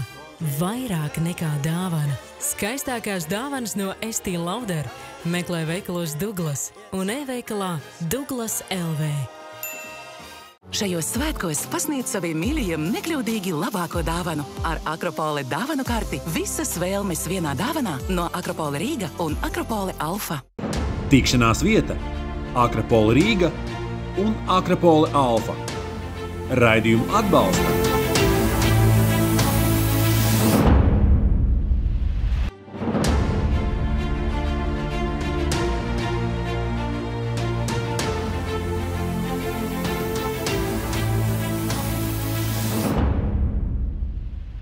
Atgriežamies no Akropola Alfa. Mūsu improvizētajā ekstrēmā studijā. Neliels līkumiņš pa veikaliem, kolēģi. Nu, mēs jau redzam, at- atlaides, eh, atlaižu plakāti Ņirba ne, un eh, Akropolē Rīga, Akropolē Alfa līdz 5. februārim. Atlaides līdz 60%. Ziemas izpārdošana ar nosaukumu Deals. vai ne? Nu, kaut kas tur no kas saka, tās valsts, kur Kaspars ir savu lielu, lielu daļu Jā. dzīves pavadījis. vai ne? Vai ar kuģi, kā mēs zinām, Oļegs Vai arī braukājis. jā, tieši tā. Apģērbi, apavi, dažādi accessori. Kā jau teicu, divos lielākajos iepirkšanās centros - Akropolē Rīga, Akropolē Alfa. Attiecīgi. Maskavas ielā, Brīvības ielā. Tas, kas mūs varētu interesēt, un mūsu varbūt auditorija, Sportlands līdz 60%, Nike līdz 50% atlaides. Fīsman atlaides līdz 60%. Zinat, Fīsman veikalu? Jā, Jā? tur eh, Nu, nu. dažādi tie naži un tādas lietas. jā, tu esi griezējis, es zinu. Un Lloyd, vai ne? Arī kurpīts. O, Kurpīts, kurpīts jā. apavi, vai ne? Apavi, tā Mums, ka- man liekas, visiem vajadzētu. Lloyd kurpīt. Līdz Nē, Oļegs. 50%. O, jā. Mēs būtu pa. Lloyd kurpīt. Jā, tieši Jā, tā. ne, tā. Tā kā nu, gan- plaša, plaša, kā saka, plašas iespējas iepirkties ziemas, uh, ziemas izpārdošana dīls iegaumē visi līdz 5. februārim šajos divos lielākajos uh, Rīgā. Divos Jā, lielākajos pirms, Rīgā. pirms Valentīna dienas vēl tā kā bija. Redz, tu jau esi, kā saka, nosvinējis Ziemassvētku, tu jau pa Valentīna dienu domā, vai Nu, vienkārši 5. februāris, Pēc tur tam 14. lieldienas jau uzreiz, labāk, Nu, tā jā, kā laicīgi viss. Tā ir, tā ir. Par naudu paturpinot un par, kā saka, par iepirkumiem. Un, um, laika mums atlicis nav daudz. Mums tā pirmā tēma ievilkās un izplūdām mēs kā vienmēr, vai ne, par- runājot par, par, par nopietnām tēmām. Uh, jūsu pirmās algas, kā jūs tās atceraties? Mēģinām būt kompakti tiešām šoreiz. Oļeg, iesāc. Pagaidi, ārzemēs vai tā Nē, nē, nē, nu, vispār. Tavs pirmā, pirmā alga, pirmā varbūt nūja, kas tev tika uzdāvināta slīdes vai varbūt, es nezinu, dāvankarte kādā lielveikalā. Nu, es godīgi sakot, to pirmo algu eh, tieši neatceros. Tā bija tā alga, kas eh, tiešām tajā pārdaugo komandā, ja, kur es teicu, spēlēt, spēlējot Krievijas, eh, Krievijas čempionātā. Man liekas, man liekas, ka tas bija kaut kādi 220, eh, kas tie repšiki tajā laikā bija kaut kas tam līdzīgs. Eh, Tas bija, tas bija tas, kas bija Latvijā, un tad uh, spēlējot tajā junioras komandā, kur es teicu, tur man bija, man liekas, Cik tev bija gadi? 120 Cik tev bija gadi tajā brīdī? 20, eh, nu, 20, ir tajā 19, laikam, tajā pārdaugā, okay. un, un tad eh, 20, 21 tajā juniorā. Un, bet, nu, ja runā par ārzemēm, pirmo, pirmo tādu, nu, es pa, nerunāšu par to Ameriku, tur es pateicu, ja tās savas nedēļas, bet Eiropā pirmais, kas bija, kad es atgriezos. Uh, 1800 dolāru mm -hmm. mēnesī. A, ko, pie, ko, ko nevar teikt mazais Oļegs, bet gados jaunais Oļegs iegādājās par savu pirmo pārdaugu algu, kas ir, cik tu teici, jā, tie repšiki. Kas, kas ir tas pirmais trakais pirkums? Tu tur skrien uz, eh, saka, uz spēļu zāli vai tu aizēji uz apaveikalu? Beidzot aizgāju uz restorānu, droši vien normāli apsēdos. Nē, es godīgi sakot, nezinu. Es domāju, ka e, kaut kas noteikti, kaut kas bērniem bija, droši vien, vai kas. Es, es nu, kā, tur, mēģinu, mēģinu jau arī iekrāt tajā laikā, es jā, arī varētu pastāstīt, e, bet nu, tas tā laikam vēlāk. Labi, es paturu, paturu atmiņā, ka tev ir stāsts. Man ir divi stāsti par pirmajām Aiziet. algām, bet tie varbūt nu vairāk no bērnības. Kā es teiktu, tika pieredzināts pie disciplīnas un darba un darba ētikas. Labi. Un, uh, tas bija kaut kādā 5. un 6. klasē, ja, kad es spēlēju jaunatnes līgu, un es spēlēju pie divu gadu vecākiem. un Man brāļš teica, viņš saka, nu, ja tu pie divu gadu vecākiem būs kāda spēle rezultātīgākais, es tev piecas slats. Un, uh, nu, tas likās nereāli. Zinu, es tāds maziņš, un vēl kur tu divu, divu gadu vecāku vispār. Brāļš tev ir kā trīs gadu vecāks, četri gadu Nē, nē, vecāks. Brāļš ir 74. tā kā Oļegs. Ā, Jā. ok, nu, tev Oļegs, tā tu esi starpība. 74. Jā, jā, jā. Nu, jā, un, uh, un, jā, un es vienu vien, vien reizi atbraucu no, no Tukuma mājās. Es tur sal, salīku jā, pie divu gadu vecākiem. Un rezultātīvākais - 23 punkti. Jā. Brāļs saka, netic. Jā. Es saku, nu, labi. Nu, katru trešdienu iznāk tas sports, jā, žurnāls vai, vai neat- Jā, jā, un tur Avīze. bija nu, tur tie rezultāti un rezultāti spēlētāji. un ir jā, pie divu, 80. gadi, jā, es esmu 82, 80 gadi. Saldus tukums, tur kaut kāds rezultāts un blūms 23. Paldies, Un neko. pavīzē kļūdas nebija, vai ne, ka bija precīzi ierakstīts. Piecas, piecas O, latas par to es dabūju. varu izstāstīt. Bet uh, tajā laikā tie pieci lati, tā, tā bija liela nauda. Un uh, otrs tās, kā es reāli dabūju savu pirmo algu un nopirku par tām Adidas bots, ir tāds, ka um, man tēvs strādāja 21. ceļa pārvaldē Saldū. Ja? Jā. Un pava- pavasarī nu, bija tā, ka mēs nu, viņš piedāvāja, nu, tā kā varējām strādāt. Ja? Mums bija līguma darbs, desmit dienas mums bija jābērž bračku. Šo, uz šoseis ir tās baltās margas, bija Krievijas laikā tādas ar Nu, tā kā balto krāsu. Jā, jā, jā. Ar balto krāsu. Tagad jau viņas moderni nopūst pelēks, jā, bet kādreiz ar balto krāsu viņa bija atl- atlobījusies un ar drāžu birstu bija jābērž. Mums bija desmit eh, dienās kaut kādi pāris kilometri jānobērž. Es gāju birstu pa priekšu un bra... Nē, brači gāja lāps pa priekšu to lielumu, un es to mazo. Jā. Norīvējies melns, kā vēls, eh, tos rūsas arī es nezinu, nu, traki bija. Ja. Un, uh, un mēs nopelnījām tajās desmit dienās rītīgi labu naudu. Un, uh, es atceros, kā šodien vēl. Es uh, neaizgāju vienu dienu saldu uz skolu, lai septiņos no rīta iesaistos Rīga, Rīgas saldus uh, autobusā par to naudu, ko es nopelnīju. Es uh, stāvēju kājās, jo autobus bija pilns. Es stāvēju kājās pie šofera to divas stundas no rīta. Man brāčka sagaidīja, viņš bija students, sagaidīja Rīgā. Viņš man sagaidīja Rīgā, viņš man aizveda uz Adidas veikalu, kas ir uh, Barona ielā. jā. ir, Un es nopirku trīs izmēra lielākas botas, lai man pietiktu trīs gadiem. jā. un, un, un es nopirku vēl zeķes, lai trīs pāris zeķiem. Es, un es atceros, nospēlēju viņām kādus divus, trīs gadus, un pēc tam vēl man caurumi bija, jo kāja bija izaugusi. Ja? Un vēl brāčka aizveda tajā dienā uz lidojumu, man, ja? un pēc tam atsūtīja mājās. Tāds man pirmā, teiksim, pirmā alga tāda bērnībā, ja? mm -hmm. kad es sapratu, cik smagi ir jāstrādā, lai tu nopelnītu naudu.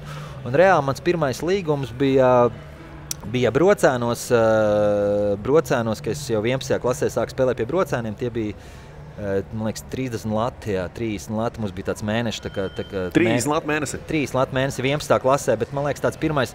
Bet tas man nebija tā līgums, tā bija tā vienošanās, Mhm, 30 mm -hmm. Latvijas. Bet pēc tam eh, 12. klasē jau es noslēdzu pirmo profesionālo līgumu. Man liekas, bija 150, brocēni LMT 150 uh, Latvijas mēnesī. Bija, jā. Mm -hmm. Nu, spēcīgi. Nu, jā, jā, tā kā tāds man tāds. Kas par? Pirmā alga man bija. Nu, kā futbolistam bija, liekas, 80, 80, futbolistam. uh, 80 uh, lati mēnesī, bet tas bija audā, audas sezona virslīgā, ja nemaldos, pirmā. un Tad, uh, tad mums tur bija, ka nu, ar prēmijām varēja dabūt 100, uh, 100 latus, bet nu, tā apmēram tā. tā, tā tā, tā naudas summa arī svārstījās, par ko es biju ļoti apmierināts. Jo es tajā laikā vēl piestrādāju par juris konsulu, un tad es, uh, tad es saliekot tās divas algas, es varēju nu, uh, nu, nodrošināt tās iztiks uh, vajadzības, kādas uz to, uz to brīdi, brīdi bija, kas droši vien arī vairāk ietvēra uh, kaut kādu ieiešanu vai, vai, vai nezinu, aiziešanu ar draugiem uz kino vai kaut kādas tādas pavisam banālas un vienkāršas lietas. Bet uh, tad, kad jau mazliet uh, augstākā līmenī sāku spēlēt, uh, tad uh, Zviedrijā alga man sanāca laikam aptuveni 1500 latu mēnesī. Mm -hmm. Kas, uh, kas uh, priekš lieli, lie, Zviedrijas standartiem arī ne, nu, tā, tā bija tāda nu, kaut cik normāla alga, bet es atceros, ka toreiz Latvijā viss uh, grozījās ap 1000 dolāriem. Vienalga, kā tu viņus tur saņēmi, tev bija 1000 dolāri, vai nu tev ir pēc tam kaut kāda uh, līguma parakstīšanas nauda, kas kompensē tev tālāk, bet viss grozījās uh, ap, ap to summu 1000 dolāri. Tam man likās 1500 Latvija ir uh, nu, tāda ar summu, summu, ar ko es varēšu baigi tur dzīvot, bet tad es sapratu, ka ja Latvijā man nav jāveic nekādi komunālie maksājumi vai, vai, vai citi maksājumi, tad Zviedrijā pēc visu uh, nodokļu maksājumu, i- izdzīvošanas minimumu samaksāšanas, laikam man arī nekas tā īsti, nekad neko īsti iekrāt uh, neizdevās. Bet nu, tie bija pirmie, pirmie soļi tādā patstāvīgā dzīvē. Ekstravaganti pirkumi, uh, nu, kā jebkuram uh, profesionālam sportistam, pirmais, ko tu par savu tādu lielo naudu pirmo nopērci, tad tā ir, tas ir kosmētikas mākslas, dizaineru kosmētikas māksla. Tu ar lielu lepnumu ierodies Un uh, treniņā un, un, un uh, mēģini atstāt iespēju vēl daudz džekiem, kur ar tādām pašām kosmētikas makiem ir atnākuši uz treniņu. Tā kā tas tāds vienlaicīgi droši vien ne tas pats gudrākais pirkums, bet, bet patiesībā Anglijā jebkurš jaunais spēlētājs, es domāju, līdz pat šīm dienām, ja tu redz, ka viņš ir debitējis, ka viņš ir saņēmis šo savu laukumā iziešanas naudu, tad visdrīzāk nākamā dienā tu viņu ieraudzīs ar kādu no lieliem dizaineru uh, šīm Mhm. te kosmētikas makiem ierodoties uz treniņu. Kas ir, kas ir basītī tāds? Ir kaut kāds tāds, viņiem kosmētikas makījums ar kaut kas tāds ir? Uh, nē, Jūs mašīnu uzreiz pērkat uz autosalons. Mums bija, jā, man uzreiz bija nu, kaut kāda nauda nopelnīta. Uzreiz bija nopirkt Mazdiņu, Mazda MX6, tāds sportinieks. Jā, jā, jā. Un īstenībā, kas bija ļoti laba lieta, es dzīvokli uzreiz nopirku. Jā. Nu, varbūt ne, jo tad jau pa labi, pa kreisi tos kredītus deva, bet tev bija līgums, ja, kas tev nu, nodrošina. Tev bija arī nu, nauda pirmā iemaksā. Ja. Un īstenībā es atceros, jā, ka es kaut kādā gada laikā izmaksāju to, to jo man bija pēc tam nākamais līgums, labs, un es ātri, tas man īstenībā nu, tāds ļoti vērtīgs pirmais ieguldījums mašīnu un dzīvoklis. Klāva traks pirkums, kāds dūls, nu, kur tu saki, nu, baļāviens, nu, pilnīgs idiots bija, vai, ne, vai nebija tā? Tu biji tas prātīgais, man liekas, jo, zini, Kaspars man... Ciprus, man liekas, stāstīja, ka viņam tur pēc pirmā, kur viņš, kur viņš tur bija ārzemēs, Slovenijā viņš bija. Liekas, viņš, viņš, at, viņš atbrauca šeit. Viņš teica, ka tur vajadzēja pašu krūtāko mašīnu, tur ar savu nezinu, mūzikas sistēmu, tad loga lejā un tā par Rīgas rulē. Apmēram. Jā, jā, es atceros, es to mašīnu braukāju bez tiesībām. À, nu, jā, jā, Kamēr viņš bija projām, viņš to mašīnu atstāja man, tad mēs par Rīgu tur šiverējām. Jā, jā, jā. Es tā pārliecinoši muzons uz skaļāko bez tiesībām, bet tā arī nevienreiz neapstādināja. mm. Jā, Oļeg, par uzkrāšanu tu teici, ka tev ir stāsts. Nē, nu, cik nu tur, zin kā, es jā, Rīgā, Rīgā nopirku dzīvokli, aizņēmos naudu no sievas tēva. Mm -hmm. Un, un te, te gadā nu, es tieši aizbraucu uz Slovākiju spēlēt. Un tagad, zin kā, man tas līgums, es biju pirms tam Somijā, man tur tā nauda, nu, teiksim, tā, kaut, kaut, kāda, kaut kāda nauda bija, bet nu, nekas, nekas tur baigi nebija. Ja? Un, līdz ar to es tagad atteicos no Somijas kaut kāda gada. Man tur vairāk bija nauda paredzēta, bet nu, es aizbraucu uz Slovākiju. Es tagad domāju, ok, man tagad ir jāatpelna. Negribu, man liekas, ka bija kaut kādi 10,000 dolāri, kas man tagad jāatpelna tā nauda. Man ir līgums. Nezinu, 18,000. Un es tagad domāju, nu, blēņas, nu, rīktīgi tagad jā, nu, es zinu, ka es Somijā pirms tam biju, nu, tā kā, nu, jāekonomē un viss notiekās, nu, jādod naudas iestām. Nu, un tad, Tad es pirmo mēnesi tur kaut ko baigi kriminēju. Bet Slovākijā tajā laikā vecīt 20 centi maksāja alus bārā. Tā tur cenas bija vienkārši nu, nekāda. Es iztērēju pirmā mēnesī 150 dolārus un sapratu, ka nu nē. Jāsāk dzīvot. Tad mēs mierīgi ar sievu gājām uz, uz kino, uz restorānu pāris reizes nedēļā, bet restorāns maksāja 5, kaut kur 5 dolāru uz abiem paēst. Jā, Slovākijā. Tā kā, nu, beigās es tērēju kaut kādus 400 eiro mēnesī uz visu, uz visu padarīšanu un varēju atdot sievas tēvam to naudu. Un... Jūs esat kā, kā sportisti tur, nezinu, skolā uzreiz topā, tur meitenes, oh, tur ierauga Jānis Blūms, tur no, parakstīs līgumu, nu, tagad tur līp apkārt meitenes. Tam, nu, ir tā noteikti. Disanē tur. Nē, nu, es atceros vidusskolā, jā, tā, kad, jā, jā vidusskolā tieši tā. Patīk, kā Jānim pamainījās tās sejas. Nu, jā, jā. Nē, nu tagad tu kaut kur, jā, es pa televīziju redzēts no, vai kaut kur spēlē, tad tu tāds bišķi ir tāds konfidents lielāk, jā, jā, jā, jā, bet es biju tāds krautīgs, es līdz 11. klasē vispār vai 12. nerunāju meitenē. Jā? jā, jā, man tād, es biju ļoti, kā, nu, zinu, no lauka puika atnāca uz Rīgu. Jā, nu, jā, jā. Tā kā, nebija man tāda, jā. Viņš tur noķēra, viņi tur kaut kas, kaut kas tur apakšā. Nē, man, man nekā nebija, jo lielākā daļa man asociēja pavisam ar citām lietām, kā, kā, kā futbola spēlēšana. Vienīgā apziņa, ka es spēlēju futbolu, viņiem nāca, ka man pēkšņi atbrīvoja 12. klasē no eksāmena. Aha. valsts eksāmenu, un tas bija tā, ka kāpēc kā, un tad es, jā, man arī, jā, man arī atbrīvoja no 12. Jā, jā. Viss, jā. Un, un, un, pirmajā, septembrī, pirmajā semestrī es atceros, kad algebras skolotāji piecēlās, un viņi teica, ka nu, viņi man nesaukšot, jo nesot vērts man čakarēties, jo esot saņemts, saņemt zīmi, no, nezinu, kas to zīmi bija rakstījis, vai kāds izlases treneris sākotnēji. Tad jau, noteikti, jā, jā. jā un, un es esmu atbrīvots, tā bija, jā, man liekas, lielākajai daļai. Jā Uh, lielākajai daļai uh, man klases biedru pirmā tāda uh, apziņa, ka es tiešām nodarbojos ar sportu, ar spēlēju futbolu, jo labi atzīmes man skaidrs, ka fizkultūras stundās bija labas, bet neviens tam nebija kaut kā īsti pievērsis uzmanību, un skola man nebija no tām pašām sportiskākajām starpbrīžos, protams, bumbu pamētājām, padaudzījām, bet, bet nevienam laikam pārāk es uzplījies ar to savu futbolu spēlēšanu nebija. Oļa, tev, tev ciena vairāk, ka tu esi uh, parakstījis savus pirmos līgumus pie naudas? Nē, tur baigi nekas nebija. Mēs tajā laikā, bet, bet man, ir, man ir viens cits tāds stāsts, bišķi, kad es sajūtu, ka tomēr, nu, tā kā varbūt popularitāte bija šauga. Un tas ir, es, man bērni gāja, gāja tur, kas saka, Vārnijās republikā, tur zvaigžņiela, un man bērni tur gāja dārziņā, jā, grupā. Mm -hmm. man, man lielie bērni dviņi. Ja? Un uh, vienā grupā ar mani gāja Renāram Kauparam bērni, arī Darīt viņa un Edgars Remīls. Un, uh, tagad, un bija viena diena, kad es nācu uz dārziņu. Uh, es nezinu, kas, kas tad varēja, nu, laikam es kaut kādā ziņā varbūt kaut kur izlasēju, vai kur parādījies biju, vai kā.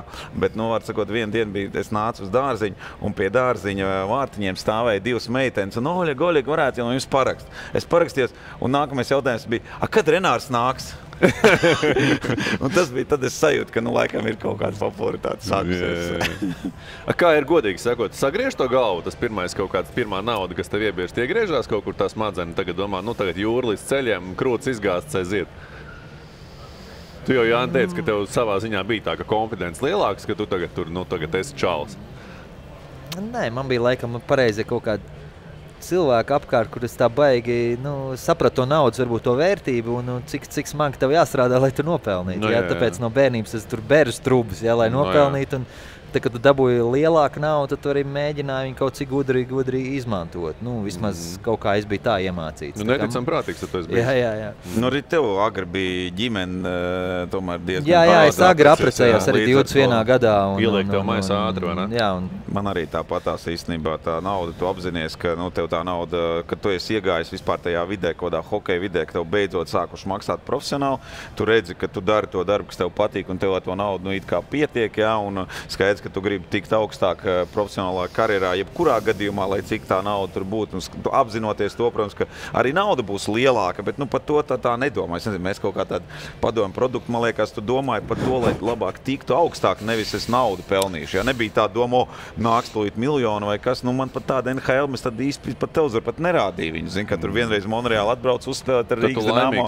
Apmēram, nu, kaut kādu Monreāli kanēdienu. Bet tajā pašā laikā es arī, nu, ja vajadzēja man uzsaukt, tur, nezinu, kā jauniem komandā kaut kādu tur alus kastu vai vak- vakariņas vai ko, un es tur nebija problēmas. Tur, Mm. tur, tur es, eh, nu, to es arī, arī turpmāk karjerā, es kā vecais biju, vienmēr jauniem izmaksāju. Nu, tā, tā kā es tur baigi tādā ziņā, nu, nu tur netaupīju, Knauzers arī vajadzēja. Knauzers Kā- nekad kā ne, tev? nebija bijis, man nav paticis. Un man vienmēr šausmīgi smieklīgi likās, ka man maksā par futbola spēlēšanu naudu. Es, uh, uh, es uh, ar to nekad nebiju rēķinājies, un līdz ar to tas bija man tāds bonus. Nu, un kā bonus man arī bija iespēja izdarīt stulbus pirkumus, tērēt naudu pilnīgās muļķībās. Un, uh, Ko tu pirki? Ko tu pirki? Tā pieredze man droši vien šodien pasargā no daudz smagāku un muļķīgāku pirkumu izdarīšanas. Bet tādu, lai es nodefinētu, viens mans stulbākais pirkums, nu, mašīna vienmēr ir stulbs pirkums. Manā skatījumā, vēlreiz tas ir mans subjektīvs viedoklis. Jo tā ir tāda mantiņa, no kuras tu ātri iemīlies, ātri atmīlies, un tad viņi tev sagādā vairāk problēmas nekā labumu. Un tu saproti, ja pirmo karjeras daļu tu centies guldīt naudu āršķirībās, lai kaut kā parādītu to, ka tu esi nopelnījis to pirmo naudu, tad pēc tam otro daļu tu mēģini noslēpt to, ka tev ir nauda, lai kāds tikai nepadomā, ka tu esi augstprātīgs vai vēl kā savādāk. Tā kā tā tāda, uh, nu, man liekas, tāds normāls personības izaugsmas process, ko es uzskatu, ka tā nauda man deva iespēju šim procesam iziet cauri, un par to es esmu ļoti pateicīgs. Mm. Nu, skaidrs. Kolēģi, paldies jums par kā saka, interesantiem un aizraujošiem stāstiem. Šoreiz arī tādus, nu, kaut kur varbūt padomus vai nepieredzē savā dalījā, dalījāties no savas karjeras. Pēc divām nedēļām tiekamies atkal. vai ne? Es ceru, ka visi atkal būs ierindā. vai ne?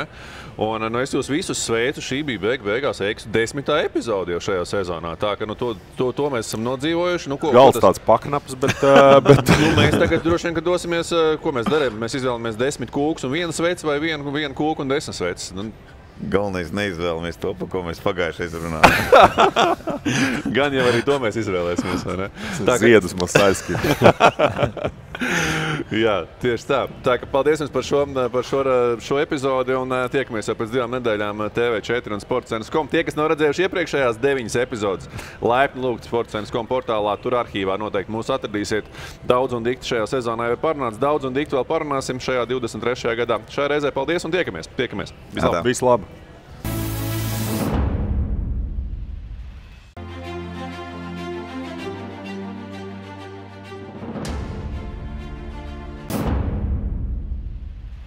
Mētelis ar tādu atlaidi.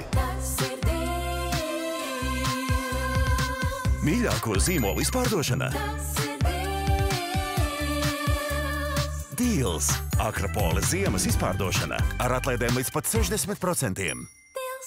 Akropola Rīga un Akropola Alfa. Right, come on, guys.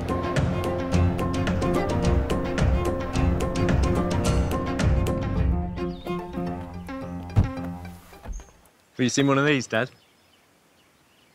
One of those.